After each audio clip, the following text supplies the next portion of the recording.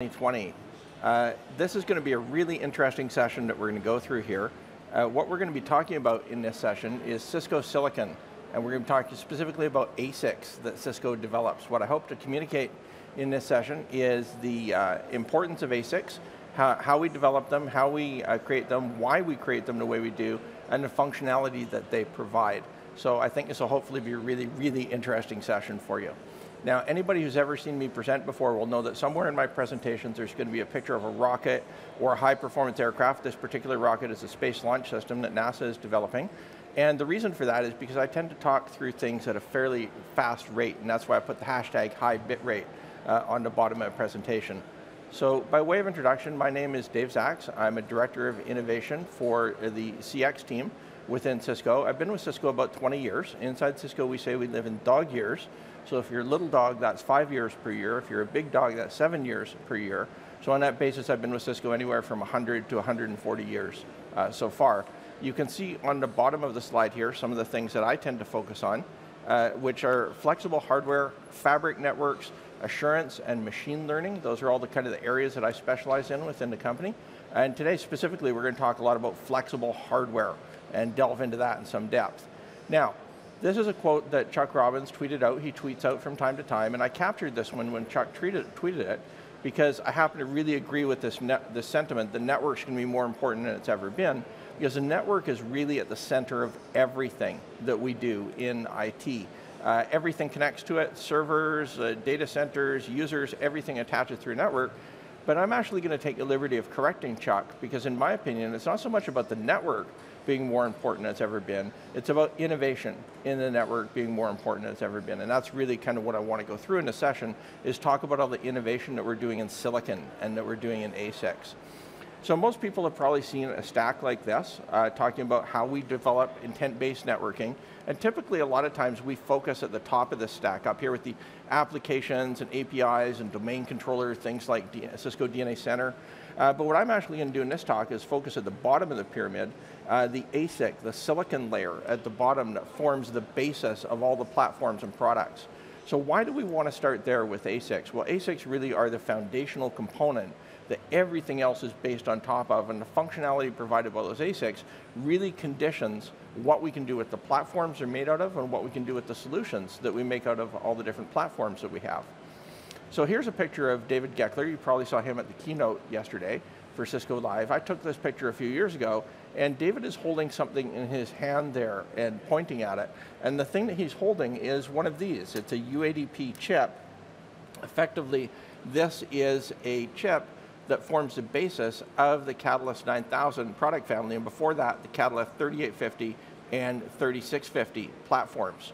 So uh, we're going to, uh, one of the things we, we're going to talk about those chips, and one of the things we often see our executives saying is that ASICs really are a pillar of Cisco innovation. I think that's absolutely true, but I want to explore in this session why that is and how important they are.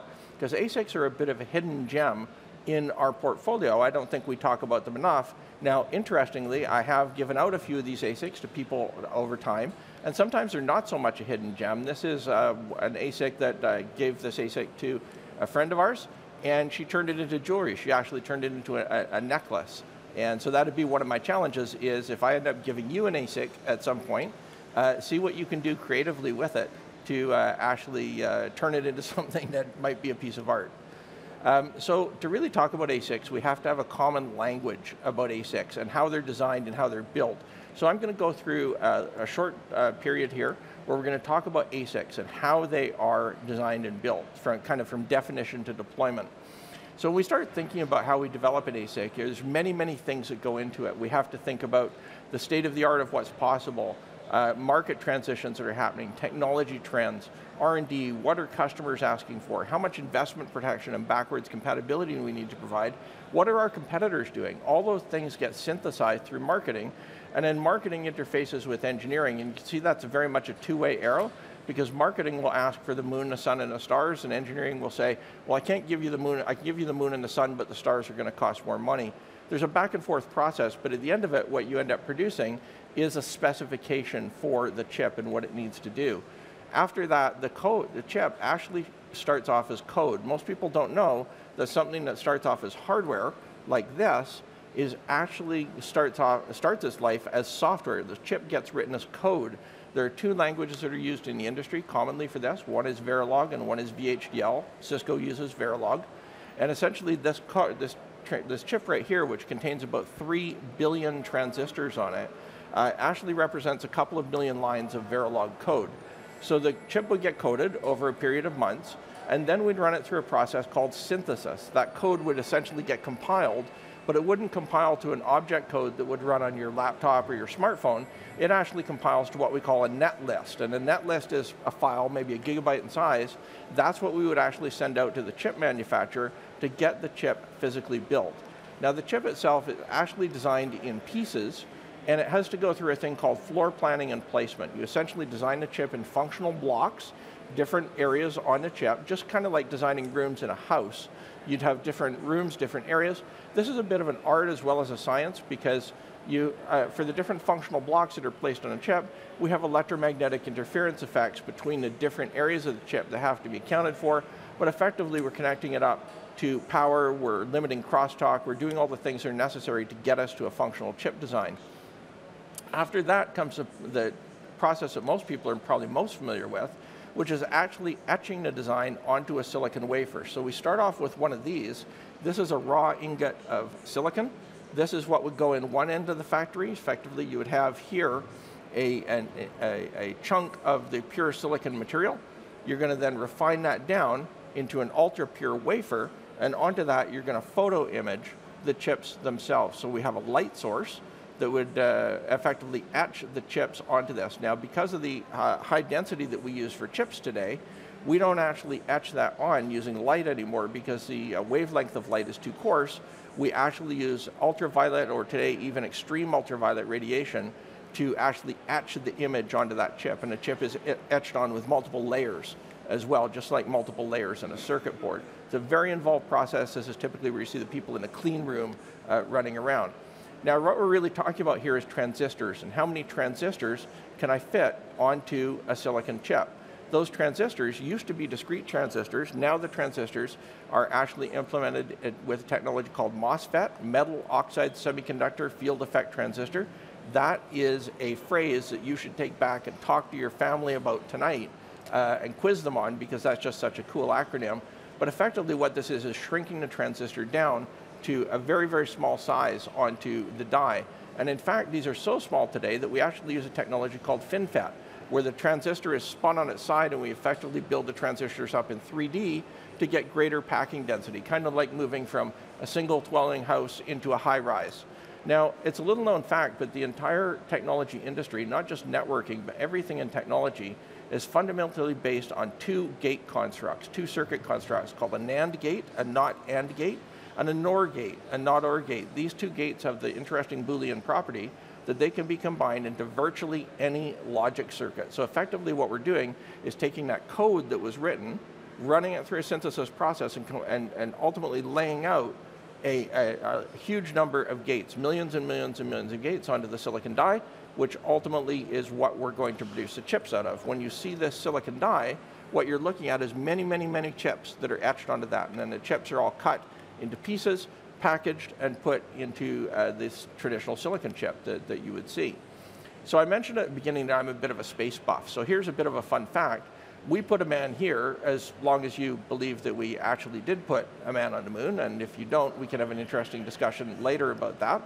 Uh, but we put a man here on the moon using this thing called the Apollo Guidance Computer, and that computer was built from 4,100 individual integrated circuits each one of contain, which contained a single three input NOT OR gate. So in other words, we put a man on the moon with less than 10,000 transistors, but today we take more than 19.2 billion transistors on the most advanced one of these chips uh, to uh, route your packets with the appropriate QoS and encryption and fragmentation and everything else that we do on that chip. So what we're really talking about here is transistors and how many transistors we can pack onto a silicon die. Now most people are probably pretty familiar with Moore's Law. Moore's law basically states that uh, every 18 to 24 months, number of chip, uh, number of transistors we can pack onto a chip will double, but of course that's not a progression of 2, 4, 6, 8.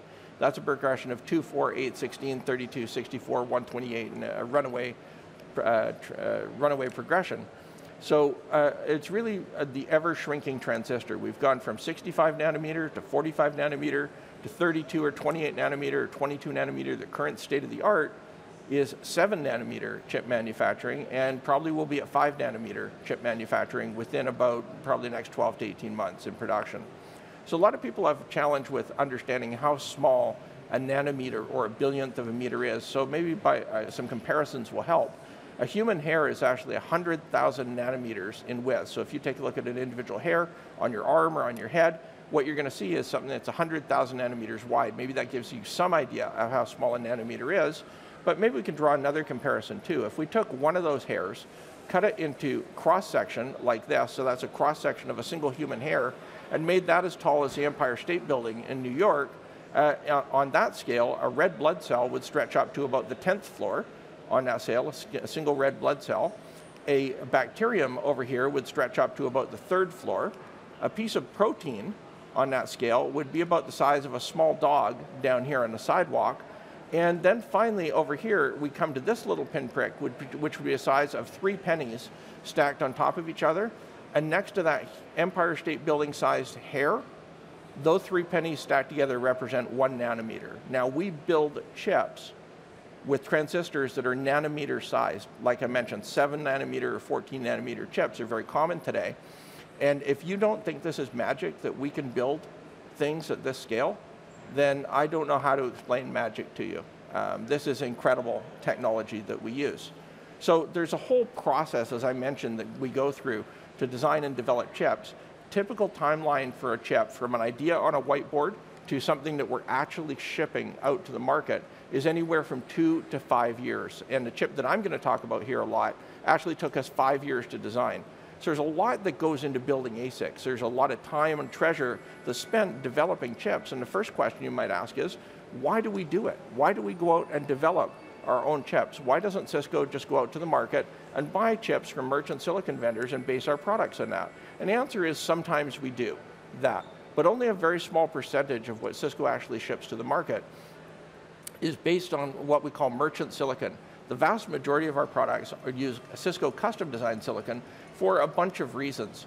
One of those reasons would be something like simpler deployment options. So one of the things that we really, really would like to have is the ability to simplify network deployments. Most people are probably familiar with the Catalyst 6500 platform. Uh, the Catalyst 6500 has a really interesting deployment option called VSS, Virtual Switch System. And what, what we're able to do with VSS is to uh, take two Catalyst 6500s, link them together with a number of 10 gigabit interfaces and make them into a single switch, have them operate as a single switch. Now in order to do that, you have to actually extend the backplane header uh, the uh, packet would have when it goes into a switch. In other words, when a packet goes into a switch, there's a bunch of information about the packet that doesn't come in with the packet. These are things like, for example, uh, you know, which port did I come in on? Which port am I leaving on? What's my priority in crossing the switch fabric backplane? In order to link two switches together as one with a virtual switch system on a Catalyst 6500, we need to extend that backplane header between the switches. We have an ASIC, codenamed R2D4, that lives in the Catalyst 6500 supervisor module, which extends that backplane header for us. In other words, if I want this simpler deployment option, I need to have silicon support for it. Uh, another thing might be better insight and optimization. So for example, one of the things that we really place a lot of value on is understanding what's happening in our networks. And for that, we use a technology like NetFlow. Now, if you think about what a switch or a router normally does, if I'm a switch or a router, a packet comes into me, I send it on to, a, figure out where it needs to go, send it along to its destination, without reference to any packet that came before or any packet that's going to come after. In other words, switches and routers normally operate statelessly. But there are a lot of uh, uh, instances where I might want to have uh, stateful information re retained from the device. For example, maybe I'm tracking all the flows in the network from a security perspective, or I want to do traffic planning, traffic analysis. So I want to use NetFlow. Now, if you want to have, build NetFlow into a device, you need to build that in in the silicon. You can't add this later through software.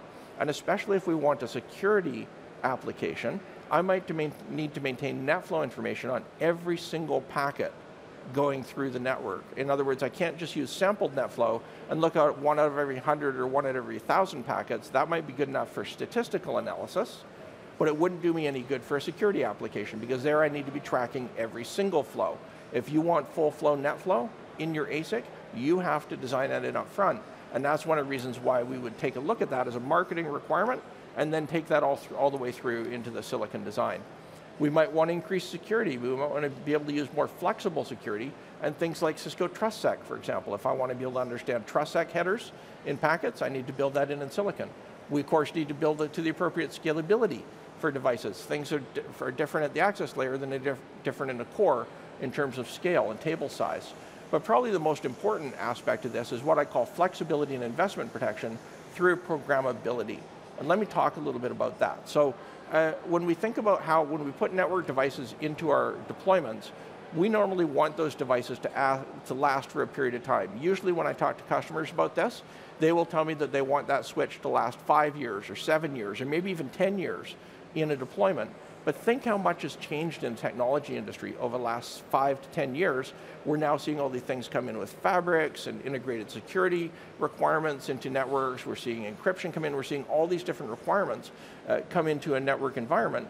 And what we need is the flexibility to adapt to these because when these new technologies come along, we want to be able to adopt them. We don't want to have to rip and replace big chunks of our network in order to get there. So the here's how a traditional networking ASIC works. Ours or anybody else's traditional non-flexible ASIC, you'd have a packet come into a port on an ASIC, so here's a representation of a packet coming into a port. Normally what would happen is that packet would come into the port on the switch, and when it goes into the switching ASIC, the first thing it would go into is a parser block. The job of the parser block over here is to figure out what is this packet. Is it IPv4? Is it IPv6? Is it MPLS? What is it? It's going to examine it. Remember we said the chip started as code? There's going to be code here that's now been turned into hardware, into silicon, that's going to examine that packet to figure out what it is. And that uh, will handle a certain number of packet headers that it's pre-coded or pre-wired to do.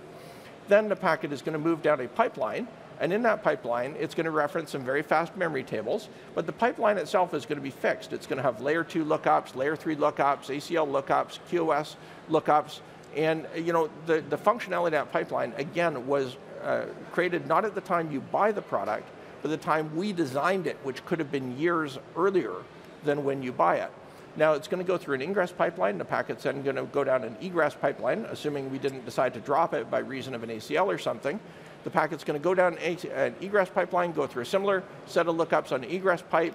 At the end of that, we're going to go through a rewriter block where we're going to rewrite the packet. So for example, we might be rewriting the MAC address for next hop, decrementing TTL for next hop, we're going to forward the packet out. Now this is how any traditional networking ASIC works. They've worked this way for years, they're very fast, but the challenge is they're fixed function. If you want a set of capabilities that that chip doesn't do, then you're kind of out of luck. So for example, uh, right here, I have a chip, this is a chip called Aludra. This is the, uh, the heart of the Catalyst 6500, very, very popular switch platform, 6500 and 6800. This is a traditional fixed function ASIC. So this means that it can handle, for example, on that chip, IPv4, IPv6, MPLS, GRE in hardware, that's all great, but for example, it doesn't do VXLAN in hardware. If you want VXLAN, that particular chip is not capable of doing it in hardware because that protocol didn't exist when the chip was designed. So what can we do about this? How can we, how can we address this challenge that this uh, ASICs are fixed in nature and yet we want to keep devices in our network for a long period of time because the really, real innovation is moving from hardware to software in networks. So the challenge here is that if I have a fixed pipeline, packet comes along like VXLAN or something like that that the chip doesn't know how to handle, you'll get this dreaded not supported in hardware. Now what that means is at that point there's really only two things. If a packet comes along the, chip, the fixed chip is not designed to understand, there's really only two things the chip can do. It can either punt the packet to CPU, in which case we'll go from millions of packets per second to maybe a few thousand packets per second, so not very useful, or the chip can drop it. So those really are your only two options if you end up with protocols that aren't supported in traditional fixed chip hardware. But yet we see the network evolving. We see the evolution of the network to address things like fabrics, which are based on VXLAN and Lisp and TrustSec, and these different protocols which we need to run end to end to create the intent-based networks that we want to have. So this is really where flexible ASICs come to, come to help us. The concept here is that a flexible ASIC is itself programmable. So different elements on the chip can be changed through software. What you would see as a new iOS version that you load onto a device and reboot the device, all of a sudden you get a whole new level of functionality, but you get it in hardware because what we've done is we've changed or updated the microcode on that chip in real time. And now you've got a whole new level of ASIC functionality, but you get it at hardware speeds. So this is really an incredible capability. So for example, if we take a look at how does a flexible chip differ from a fixed chip, the first thing you'd see over here is that we have a flexible parser. The, remember I talked about that parser block and the portion of the chip that figures out what the packet is when it comes in? Well, on a flexible chip, the parser block is itself programmable. So we can program that parser block to look at any different field in the header of the chip. For example, this chip, which is the heart of a Catalyst 9000 series switch, this particular chip, uh, it can look up to 256 bytes deep into the packet header. It can parse on and alter anything in those first 256 bytes. That gives us the ability to handle almost any packet header out there that we know about, uh, even maybe packet header formats that haven't been invented yet. We could reprogram the flexible parser to understand them. Then we take those fixed blocks, those formerly fixed blocks in the, in the ASIC pipeline, and turn those into flexible programmable blocks as well. So what we see is that every, every block here can take a look at and alter uh, the packet individually. In this particular chip, the UADP chip, the Unified Access Data Plane chip, that the, uh, the, the Catalyst 9000 is based on, we actually have a 17-stage ingress pipeline, an 8-stage egress pipeline, so I have uh, 22 or 25 stages, depending on the version of the chip, that we can, and each stage that we can examine the packet with, and each stage can do zero, one, or two lookups on the packet. So we literally have dozens of opportunities to examine and modify the packet as it moves down this flexible pipeline. At the end of the flexible pipeline, we also have what we call a flexible rewriter. So again, the portion of the, the chip that rewrites the packet, that changes the packet, as the packet's getting routed through the device, is itself programmable. So we can rewrite the, the packet in multiple different ways, depending on what we need. So really what this gives us at the end of the day is complete flexibility in the forwarding pipeline, very, very different than a traditional fixed ASIC and much more flexible and capable. So if, for example, I can build a chip and these chips will handle IPv4, IPv6, MPLS, GRE, uh, you know, all these different functions, including things, more advanced functions like VXLAN, for example. Now VXLAN is an interesting one because VXLAN and GRE as well are tunneling protocols and really all the interesting things that we see happening in networking today are based around tunnels. So I'm going to talk in a short bit about how the chip handles some of these protocols that are tunneled. But one of the key things here is the flexibility that this chip offers, and a, a flexible chip like this offers. If we invented IPv7 tomorrow, and we hope the industry doesn't invent IPv7 because we've taken 20 years to adopt IPv6, but if the industry were to invent IPv7 tomorrow, we could probably handle it through this concept of the flexible programmable pipeline. Very, very powerful concept. Now I talked a little bit about tunneling and how uh, tunneling is required for certain protocols. So for example, let's say I took an IPv4 packet, spun it through the chip, and my forwarding decision was this needs to forward into a VXLAN tunnel. Maybe it's entering a, a fabric, like an SD access fabric, for example. So I'd take that IPv4 packet and I'd wrap it in a VXLAN header, but now the destination of the packet has changed because now it's going to, uh, to the endpoint of the VXLAN tunnel and not the endpoint where the user originally sent it to. That means I need to take the packet for another spin through the chip. We highly optimize the chip for what we call recirculation in terms of bandwidth and performance. For example, in this UADP chip, I can recirculate a packet off the end of the egress pipeline back to the beginning of the ingress pipeline in less than 500 nanoseconds. So we have very, very high performance recirc path. In other words, I can recirculate the packet through this chip so quickly that you won't notice it. And we could actually recirculate the packet up 16 times if we needed to. Uh, we don't have a need in this chip to recirculate it more than seven times with any use case we've currently come up with. But the recirculation is really key because all the innovation that's happening now in networking typically involves some sort of tunnel and requires recirculation. So the point here is really, it's very, very exciting, and I hope I'm communicating the, the passion that I have for this to you about how with ASICs that are programmable, we have the capability to update via software the chip, but still operate the functions at hardware speed. I remember the first time I saw this within Cisco, sitting in the back of a building with a couple of hundred engineers in that building. And there was a lecturer at the front who was talking about this chip. This is probably about three years before we shipped the first version of the UADP chip in 2013. And this particular engineer uh, was a, a, gentleman named Hiroshi Suzuki. He had developed a lot of QS functions within the chip. And I would estimate on Hiroshi that this up here runs at about 200 100 to 200 gigabits per second. This runs at about 25 gigabits per second, so there's a significant speed mismatch there. And as you can tell by his name, he's Japanese by, by origin. And so when he gets excited, it all kind of comes out with 16-bit encryption. So I remember sitting at the back of a room of a couple hundred engineers trying to keep up with 25 gigabits per second of 16-bit crypto. But when I understood what we had built in this flexible chip, my instinct as an engineer was to stand up and applaud because finally we built this piece of silicon that we could adapt to different functions over time and it's just a, it's just a huge advance in what we're able to do. So you've seen this type of silicon come into our product line over time. You've seen this evolution from former platforms like 3550 and 3750, if folks remember those platforms, that were based on fixed function ASICs, up to our latest generation of silicon, the UADP, which really came to market with the 3850 and 3650 platforms, and is now the heart of everything that we build in the Catalyst 9000, right from the bottom of the, the range with the 9200 to the top of the range. And you can see that this is all Cisco developed silicon. So we've developed all of this in-house, and we reap all the benefits of what I would call vertical integration by doing so. And you can see that uh, you know the, the, the, very sophisticated chips, seven and a half billion transistors, or the latest one now is actually 19.2 billion transistors. These are among the densest pieces of silicon being developed anywhere in the world. So again, this is a family of chips. It's been an evolution from our initial platforms based on UADP 1.0 and 1.1 up to UADP 2.0 and 3.0, which really form the basis now of the Catalyst 9K product line. And our latest version of this, because we don't always just make things bigger, we've actually gone smaller with a mini-me version of the UAD 2.0 mini, and this is actually what we base the Catalyst 9200 platforms on. So again, it's an evolution over time of all of these platforms.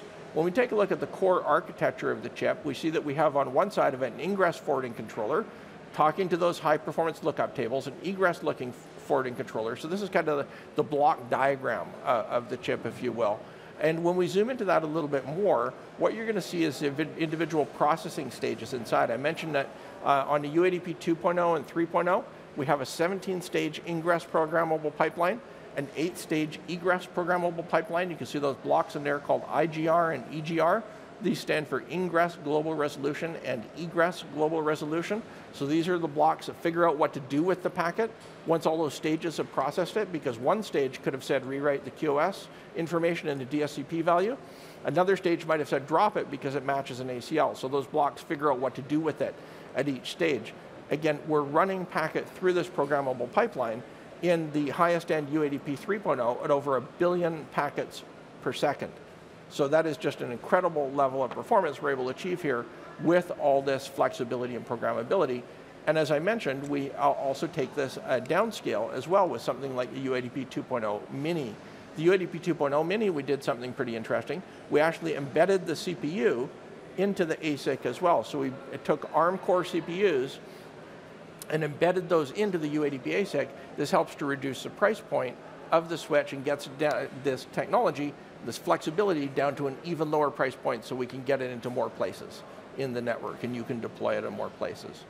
Now we're not only doing innovation in uh, wired networking, we're also doing innovation in wireless as well. And we actually, Cisco actually has a long history of this. If you take a look at all the things we've introduced, clean air, hyperlocation, flexible radio assignment, intelligent capture, all the things that we've done is we've continued to evolve our access point product line. One of the things I want to talk about here is a really interesting innovation that we come up with called the Cisco RF ASIC. And this is a, a cutaway version that I have here of an AP, uh, nine, uh, this is an AP9120. And uh, I'll draw your attention on here, if I flip over to the back side of this, to a little board up here, a little red board that you can see. And this little red board is actually called the Cisco RF ASIC. So what the RF ASIC is, is a, a custom piece of silicon that we built into the access point for doing processing of wireless traffic. So with this, we're able to do uh, many different things. For example, one of the things that we do in wireless is a thing called dynamic frequency selection which means that we also have to automatically be looking at the channels that we're on and making sure that we avoid certain channels where other things may be present, like radar signals, for example. Now, normally in all our other access points, we would have done this in software only, meaning that we'd have to hop off channel in order to determine if we've got interference. Uh, here we can actually leverage hardware like the RF ASIC, which will allow us to do this uh, and increase the performance of the AP because we're able to do this in hardware. Again, here's a little close-up of where this chip lives in some of our latest uh, access points, like the 9120 and the 9130. Now we've built a lot of, as we typically do, we built a lot of functionality into this silicon. We've only realized a fraction of this functionality in software so far. One of the things that we will be able to do as we go forward is turn on even more and more functions that we built into silicon with more and more features on the access point. That's one of the really cool things about building things in hardware, is we can build in functionality the software may not even leverage right away, but over time we're able to leverage more and more of that capability that we built into the silicon. So the RF ASIC is a really interesting addition into our wireless product line. It gives us a, a really cool set of capabilities. Now, one of the things you probably heard about at the keynote yesterday, and you've heard Cisco talking about this for the last short while, is this new chip that we've developed called Cisco Silicon One. This is a, a new ASIC that we've developed, very high-end ASIC, that we're basing our Cisco 8000 router series on for service provider networks and for web scale networks, meaning things like massively scalable data centers, for example.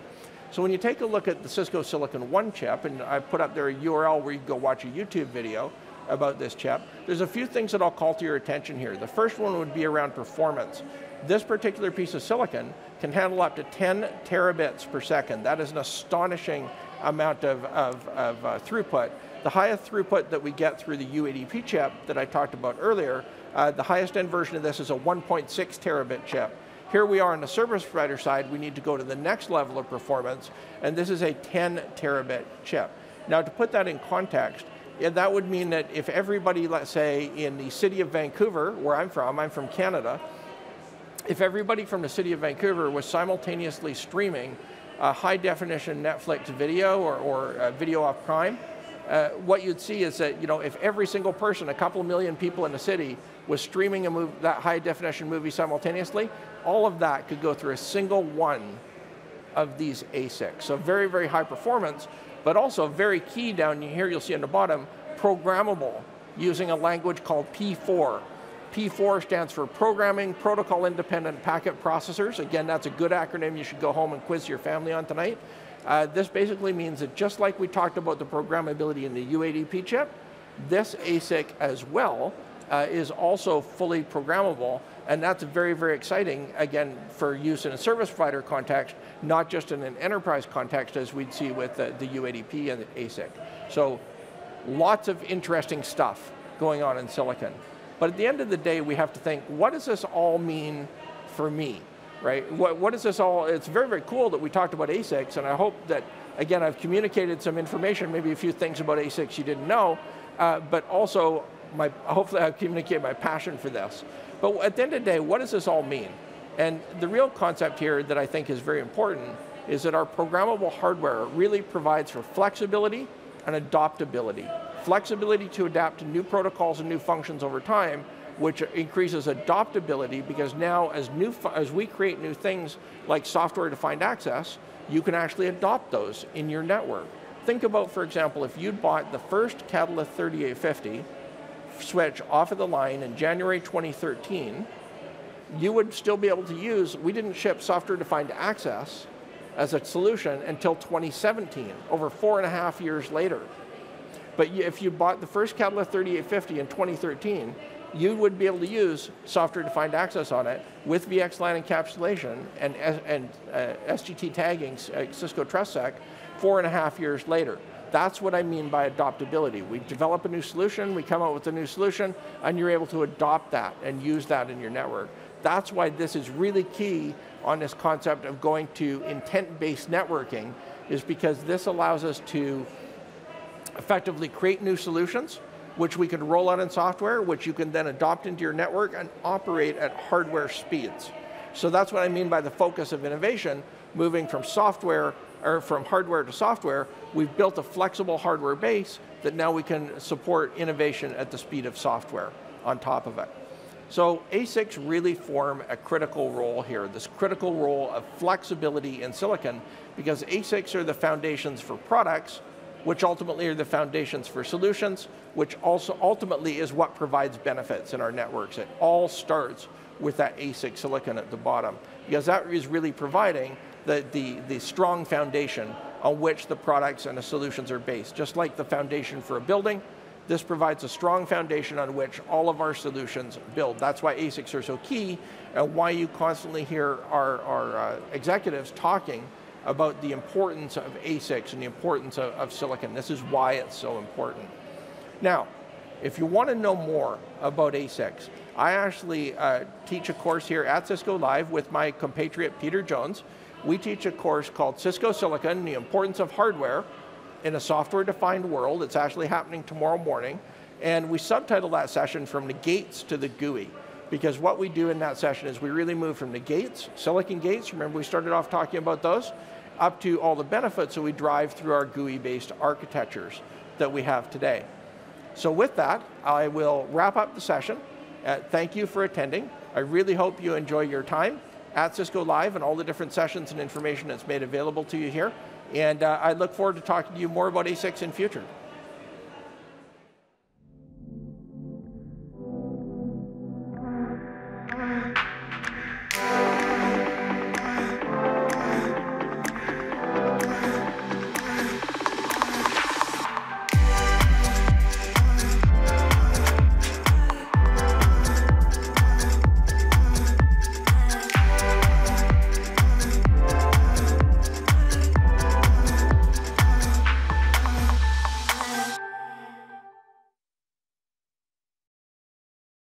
Those uh, around you. Between human trafficking and a future without fear, there's Vanessa Russell. Cisco, the bridge to possible.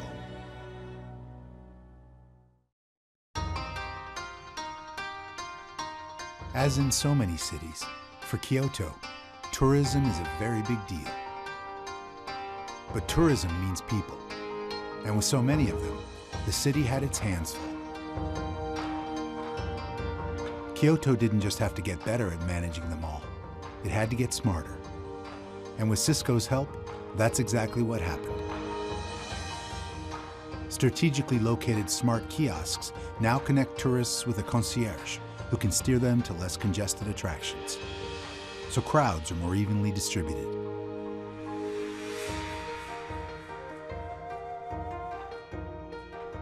Smart street lighting monitors foot traffic, automatically controls brightness when and where it's needed most, and pinpoints outages in real time. So repairs can be made faster. And with special terminals monitoring multiple cameras, data can be compared simultaneously, making the city safer than ever before. As for the people of Kyoto and the millions of tourists who visit every year, they have just one thing to say about their new smart city. We can't wait to see what's next. Between ancient and smart, there's a bridge. Cisco, the bridge to possible.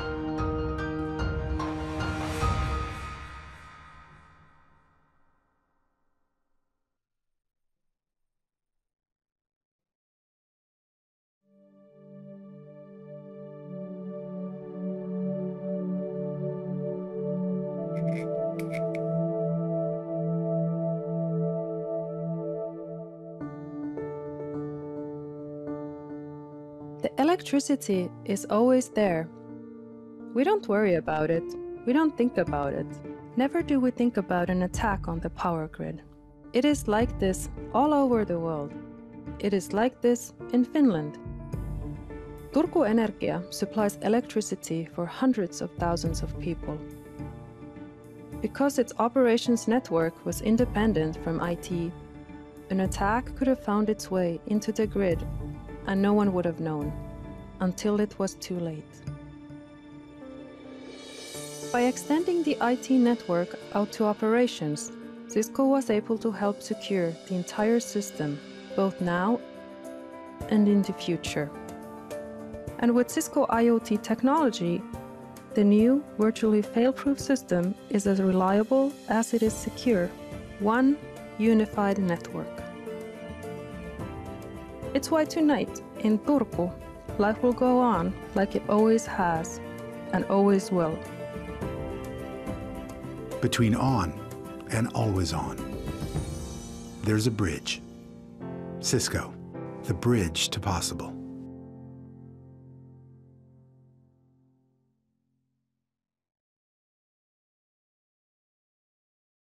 For years, we've been hearing about IoT. Ooh, look, my cat just woke up. Let me put the lights on for her. It's time to get real. This is about big industry changing things, complex things. It's about a network of things that includes this, and these, and that thing, and whatever this is. You've got more data than you can shake a stick at, and that stick generates data too. This is industrial strength IoT. It connects turbines to power grids, pipeline operations to refineries, first responders to life saving devices. It's a big challenge, and it makes a difference to our lives. So, how do you meet it head on? Not like this, like this. Only Cisco can securely connect tens of thousands of assets at the farthest edge of your network to the heart of your business, no matter the scale. With security built in, not bolted on, and a flexible network to grow as your business expands. Now, IT's happy, ops are happy, innovation is accelerated, business is transformed, lives are improved. Between big ideas and big results, there's a bridge. Cisco, the bridge to possible. This is the data center, and it deals with demand. Demand that's coming from anywhere, any place, any device. Billions of things, millions of apps, clouds of all kinds, demands for capacity, for analytics, for real-time insights, giving customers exactly what they want. And it's all landing right here. But that's okay, because you're not just waiting for it. You've got ACI Anywhere, a remote control that gives you the power to answer any need, choose any cloud, manage and secure any demand, right from here. So tell them to bring it on. You're ready, anytime, anywhere. Cisco ACI goes anywhere. Cisco, the bridge to possible. The power is here. And here. But also here. And definitely here. Anywhere you need the full force and power of your infrastructure, hyper-converged. It's like having thousands of data centers, wherever you need them, powering applications anywhere they live, but managed from the cloud. So you can automate everything from here. Cisco HyperFlex goes anywhere. Cisco, the bridge to possible. National Instruments had a predicament. Bandwidth demands were on the increase. And while growth is good, their IT budget wasn't keeping pace. Not so good. IT needed to deliver more bandwidth to offices around the world while keeping spending under control. That's not so easy. Suddenly, the company that helps engineers accelerate innovation found themselves needing help. Oh, and it needs to be fast, flexible, affordable, and secure too. A tall order, but by no means an impossible one. Not with the decision to turn to us, the people who invented the network in the first place. Using a Cisco SD-WAN solution in Cisco services, we massively increased their bandwidth. Where their budget held them back, we propelled them forward. Now, most companies would be delighted right there, but we went further. Network deployments are faster than ever. And where their old network generated problem tickets faster than anyone could count, the number of WAN-related tickets has decreased 70% in the past year. All of this to prove that between those frozen processes of yours and free-flowing productivity, there's a bridge. Tell us what you're imagining, and we will build the bridge to get you there.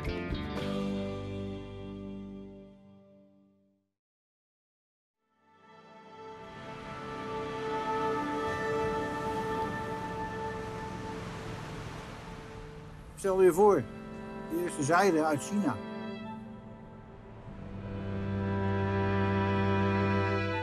Kruiden uit Indië. thee, rubber, suiker. Alle rijkdom van de wereld we hier, in deze plaats. For over 500 years, the lifeblood of commerce has flowed in and out of the port of Rotterdam. Today, it's on a scale and at a speed never before imagined. Until now. There is a lot at stake. We have vessels entering the dangerous cargo. We have very large container carriers. If one gets stuck in the entrance, the entire harbor is jammed. Consequences, safety-wise and economically, are immense if something goes wrong. The logistics are easy, but uh, to make the puzzle work, that is complicated. Making the puzzle work is a network of sensors spread across the port's 41 square miles, providing terabits of data. 200 calculations a minute. Wind, tides, currents, and visibility to help guide 130,000 ships a year and protect 468 million tons of cargo. In my function, in my job, the security is the main thing. If we have the right data and the reliability is proven, we can predict what the situation will be three, four, five hours in advance, and we can plan with that. After careful evaluation and planning, everything is, is possible in Rotterdam, and that's uh, the thing we are, we are proud of. The confidence to run Europe's largest port, and one company delivers all that sensor data safely, delivers all that data securely. Between the storied past and a modern efficiency the Dutch would call Ongelooflijk. there's a bridge. Cisco, the bridge to possible.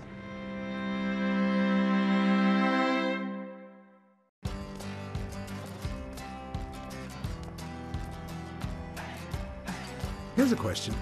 In a world where data goes everywhere, where does that put your data center?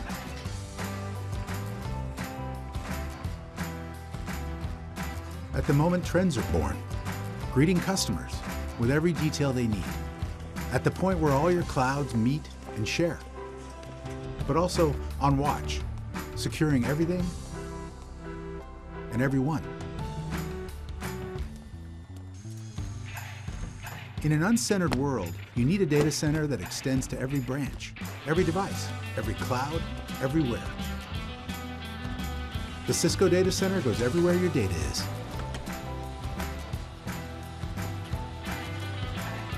Between data everywhere and exactly where you need it, there's a bridge. Cisco, the bridge to possible. There is something unique about a baby's cry.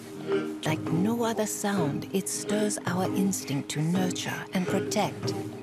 Unfortunately, those cries sometimes go unheard. Because in some neonatal wards in Uganda, there isn't enough equipment or staff. Now those cries can be heard with the help of a wearable monitor that displays critical information for each baby, enabling nurses to immediately respond with the proper care. This life-saving technology was developed by Neopenda, a medical device company serving emerging markets and underserved people. Cisco's support helped Neopenda further develop the technology that connects its devices. This is one more example of how Cisco empowers social entrepreneurs to use innovative technology to make the world better. Between a baby's cry and a nurse's care, there's a bridge. Cisco, the bridge to possible.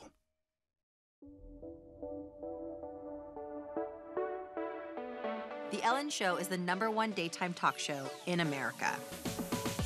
By far, the biggest thing we do all year is our Mother's Day event. It's so much fun, and our fans just love it. We spend a lot of time aligning the show with brands that want to be a part of the Ellen experience. Hey, New York. There were a bunch of moms to be all over the country who tried to get tickets, but they could not get tickets. We're usually working on a really tight schedule. The faster we can launch or join meetings, the better. Hi. I am going to use Cisco video technology to surprise them. I don't want to surprise the baby out of you, but surprise! Some of us are in LA, some of us are in New York. There's an enormous amount of collaboration that goes on between us.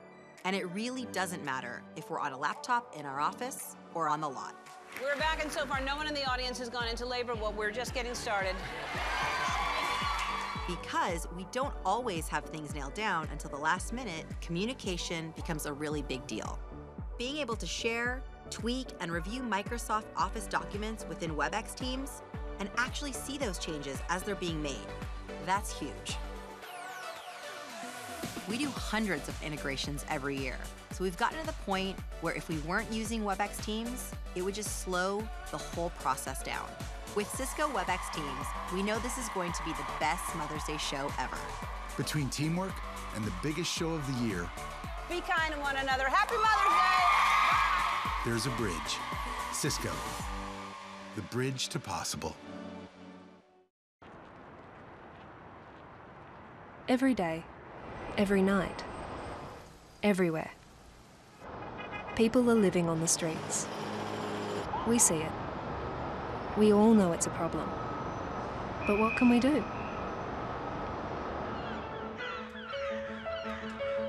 In Brisbane, Australia, two young mates decided to do something. They would start small. They decided not to call them homeless. They would call them friends. Then, they outfitted a van with a washer, dryer, and a shower and hit the streets of Brisbane to wash their friends' clothes. Orange Sky was born. One van quickly became two, then four, then 20. The operation, staff, logistics needed to scale and quickly. So Orange Sky found a partner. Cisco tailored a Meraki network that can grow as they grow. Intuitive dashboards at the head office and robust Wi Fi in every vehicle let Orange Sky monitor vans and onboard devices remotely via the cloud.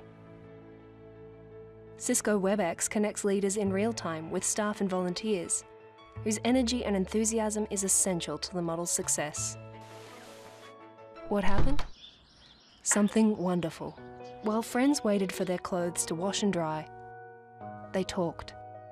A simple connection, joining a community, perhaps for the first time in years. If one load of laundry can do that, who knows what's possible? Between cleaning clothes and creating a community, there's a bridge. Cisco, the bridge to possible. When mankind took its first steps on the moon, the images were captured with a lens made by Zeiss. When precision is in question, in manufacturing, science, medicine, anything, the answer, accurate to 200 billionths of a meter, is provided by Zeiss. Getting it right. Getting it precisely right. For nearly two centuries, Zeiss has set the standard for industrial precision and optic excellence. Looking forward, looking further, and innovating to get there. Now, technology is pushing us faster than ever toward a more connected world. Can Zeiss lead the way? They're already there. Zeiss has partnered with Cisco. Innovation and precision are now online. A team from Cisco Customer Experience working with Zeiss has designed an innovative IoT strategy, setting a new standard for Zeiss connected data. Cisco Kinetic enables Zeiss to securely gather more information than ever, putting it to use in ways never before imagined, predicting performance and protecting uptime. Cisco WebEx brings Zeiss technicians and industrial customers together at a moment's notice, enabling innovation on the fly. The result? More advanced products, happier consumers, increased revenues. What they say is true. They don't make them like they used to. At companies using Zeiss, partnered with Cisco, they make them better. Between precision and the pace of business, there's a bridge. Cisco, the bridge to possible.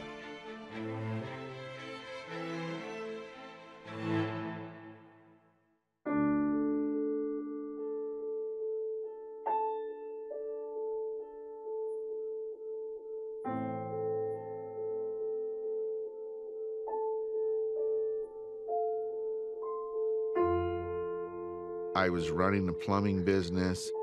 It was great. We prospered and things were well. And then I got hurt and the spiral began. Every night across America, a half million people go to sleep homeless. When you're in the street, you are invisible. You're, you're out there, nobody sees you. You have to make hard choices, really hard choices. As unimaginable as that is, even more are at risk of becoming homeless. There are homeless from every profession plumbers, electricians, doctors, financiers, a quantum physicist. Which is why we're committed to help put a roof over the heads of those who need one most. And for those at risk, helping them keep theirs.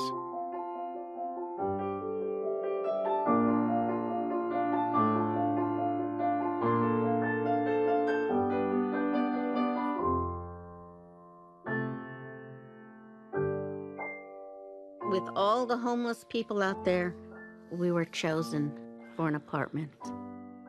It's better than the lottery. This is a place to live. Together, let's be the bridge to a place called home. I don't know you, but I love you for what you've done and how you helped me.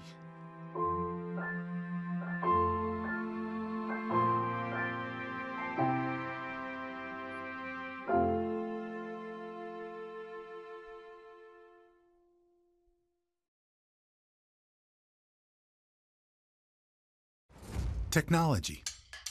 There's never been more potential at your fingertips. But technology is only half the picture. Introducing Cisco Customer Experience.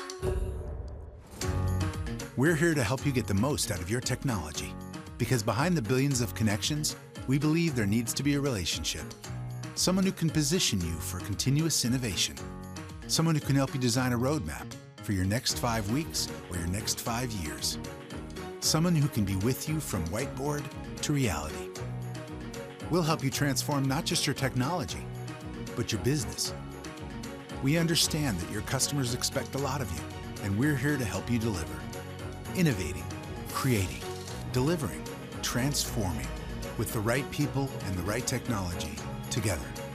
This is Cisco Customer Experience. Between technology and where it can take you, there's a bridge.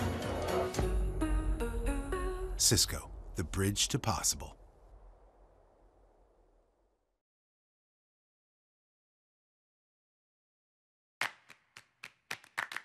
Technology often comes down to a choice this or that. Do you need 5G or Wi Fi 6? Mobility or security? Should you be in the cloud or a data center? Do you need this gen or next? The answer to all these questions is yes. Now you don't have to choose because there's one network that's ready for anything. It's called intent-based networking, and it's only from Cisco. A system built for Wi-Fi 6? Yes. And ready for 5G? Yes. And the numerous machine languages of the IoT? Yes. What about security and threat detection? VR, AR, AI. The answer to your question is yes. Intent-based networking from Cisco. Wireless first, cloud-driven, data optimized. Between what's now and what's next, there's a bridge. Cisco, the bridge to possible.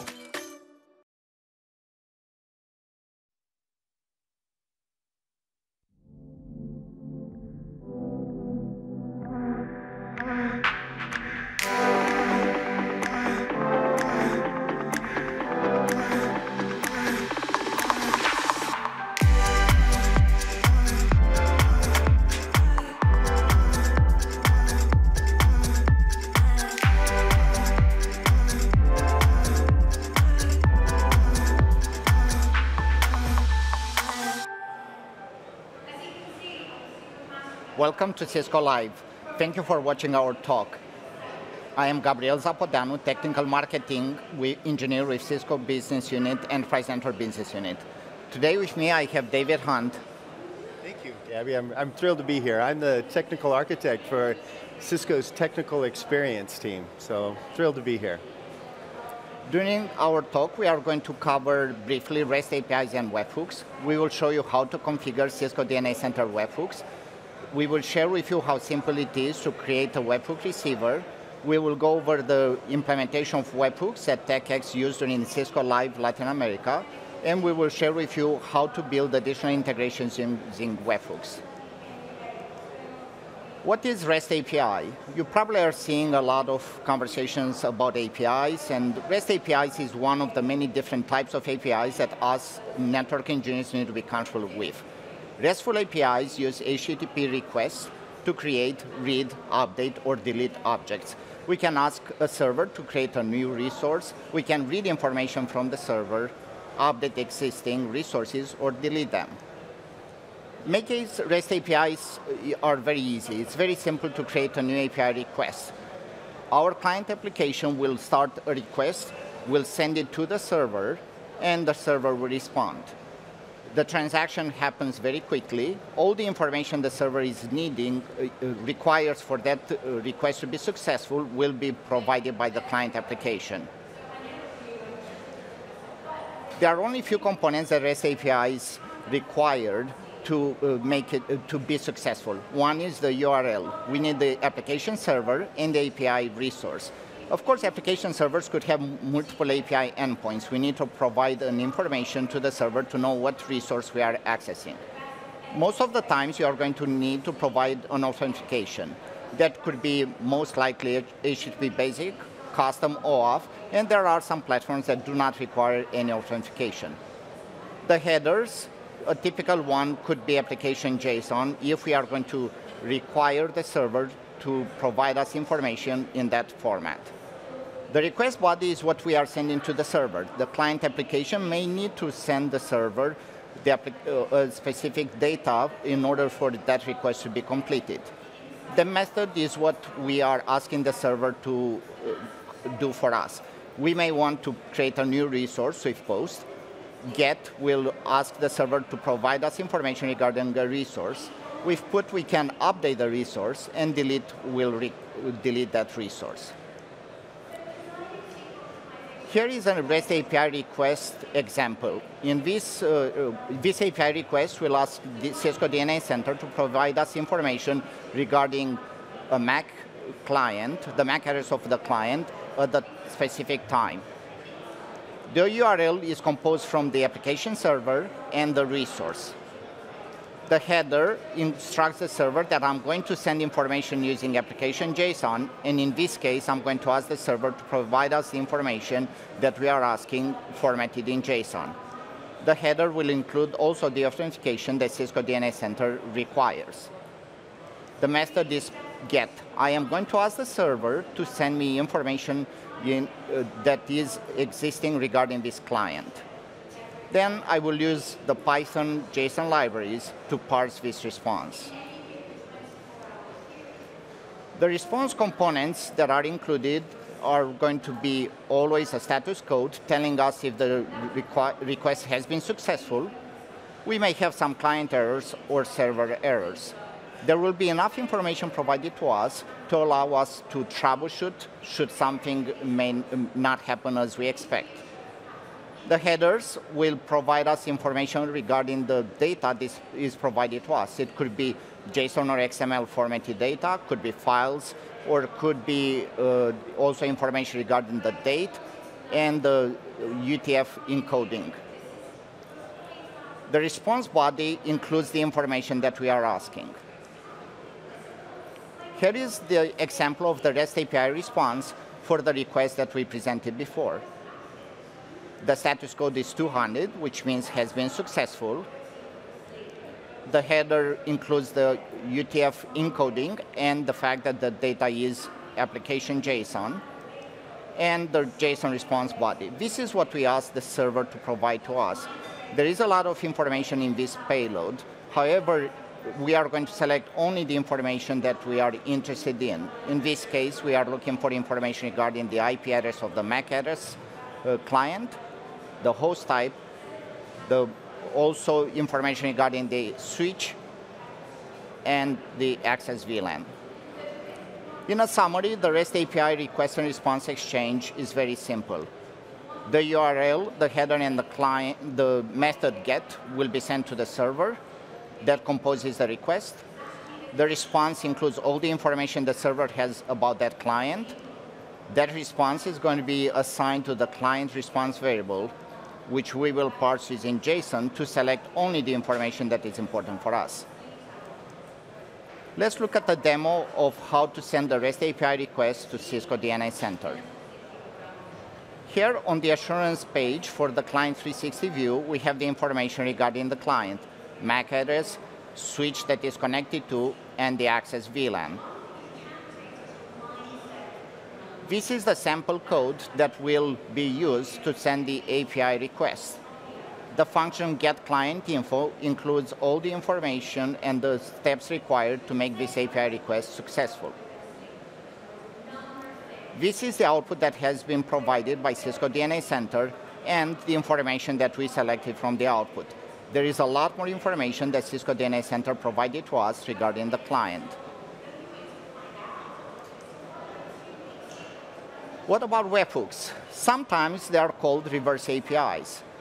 Unlike uh, REST APIs, where the client application will send the request to a server, webhooks, the server will notify the client application. They are event-driven and will send data when needed. They typically use post or put methods to a receiver URL.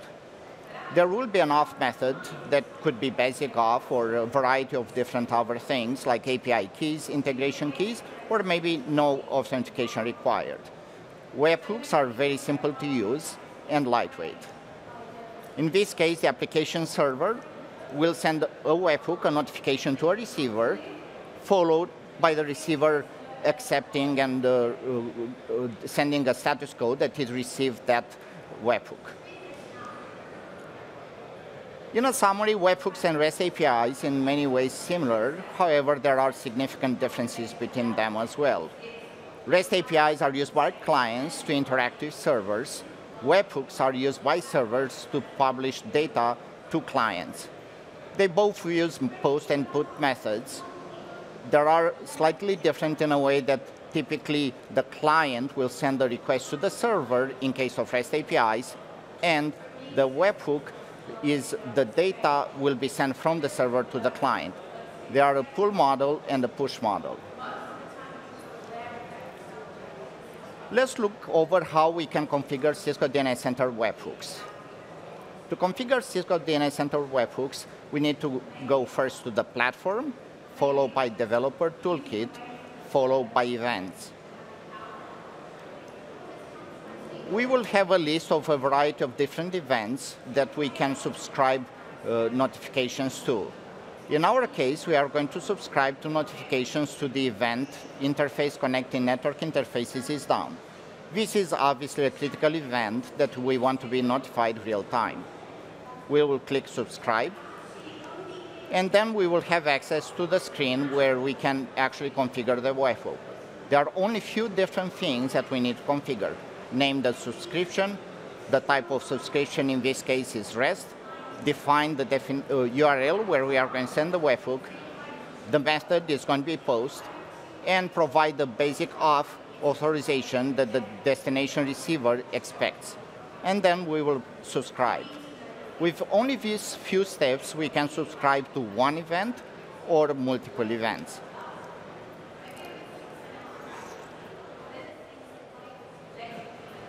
This is a typical Cisco DNA Center webhook sample payload for assurance events. There is the instance ID, which is the unique identifier for this issue. The type of event, it is a non-fabric wired, and the number that matches to the webhook uh, event that we just configured. It will give us also details regarding the network device that triggered this event, the timestamp in epoch time, and details regarding the interface that has been detected as being down. Let's look at how webhooks can be sent from Cisco DNA Center to a receiver. We will review the configuration that we described earlier, platform, developer toolkit, and we are going to look for the event 251 for interfaces uh, down between network devices. The webhook PA is for Python Anywhere, and this webhook has been configured to send notifications from Cisco DNA Center to Python Anywhere to a Flask receiver. This is the Flask receiver configuration. It's a very basic Flask uh, configuration uh, running application on Python Anywhere that provides us the ability to send notifications using webhooks. We are going to trigger an event shutting down the interface gigabit Ethernet 105. On Python Anywhere, on the console, we can see the webhook that has been received and the further steps that you are going to see uh, in the next few slides during another use case. Highlighted is the webhook. All the information from uh, Cisco DNA Center that is relevant regarding this issue is provided to the receiver. We are going to use this information to create integrations and alert us using a variety of different notification systems like WebEx Teams or PagerDuty.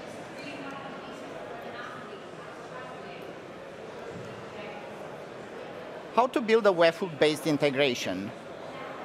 The webhook payload and the op options may not match the destination. The source may send us data like what you are seeing here on the left-hand side, and the destination, like Jira Cloud or PagerDuty, may expect the data or the authentication to be uh, provided in a different format. Because of this, we need to convert the payload and also the, uh, build the auth required by the destination. These operations can be done on an application like a simple webhook receiver that I'm going to share with you. This application needs to have a web framework to support REST APIs. It can run on a Linux container, virtual machine, or cloud. It needs to be reachable from Cisco DNA Center and can reach the platforms we desire to integrate with.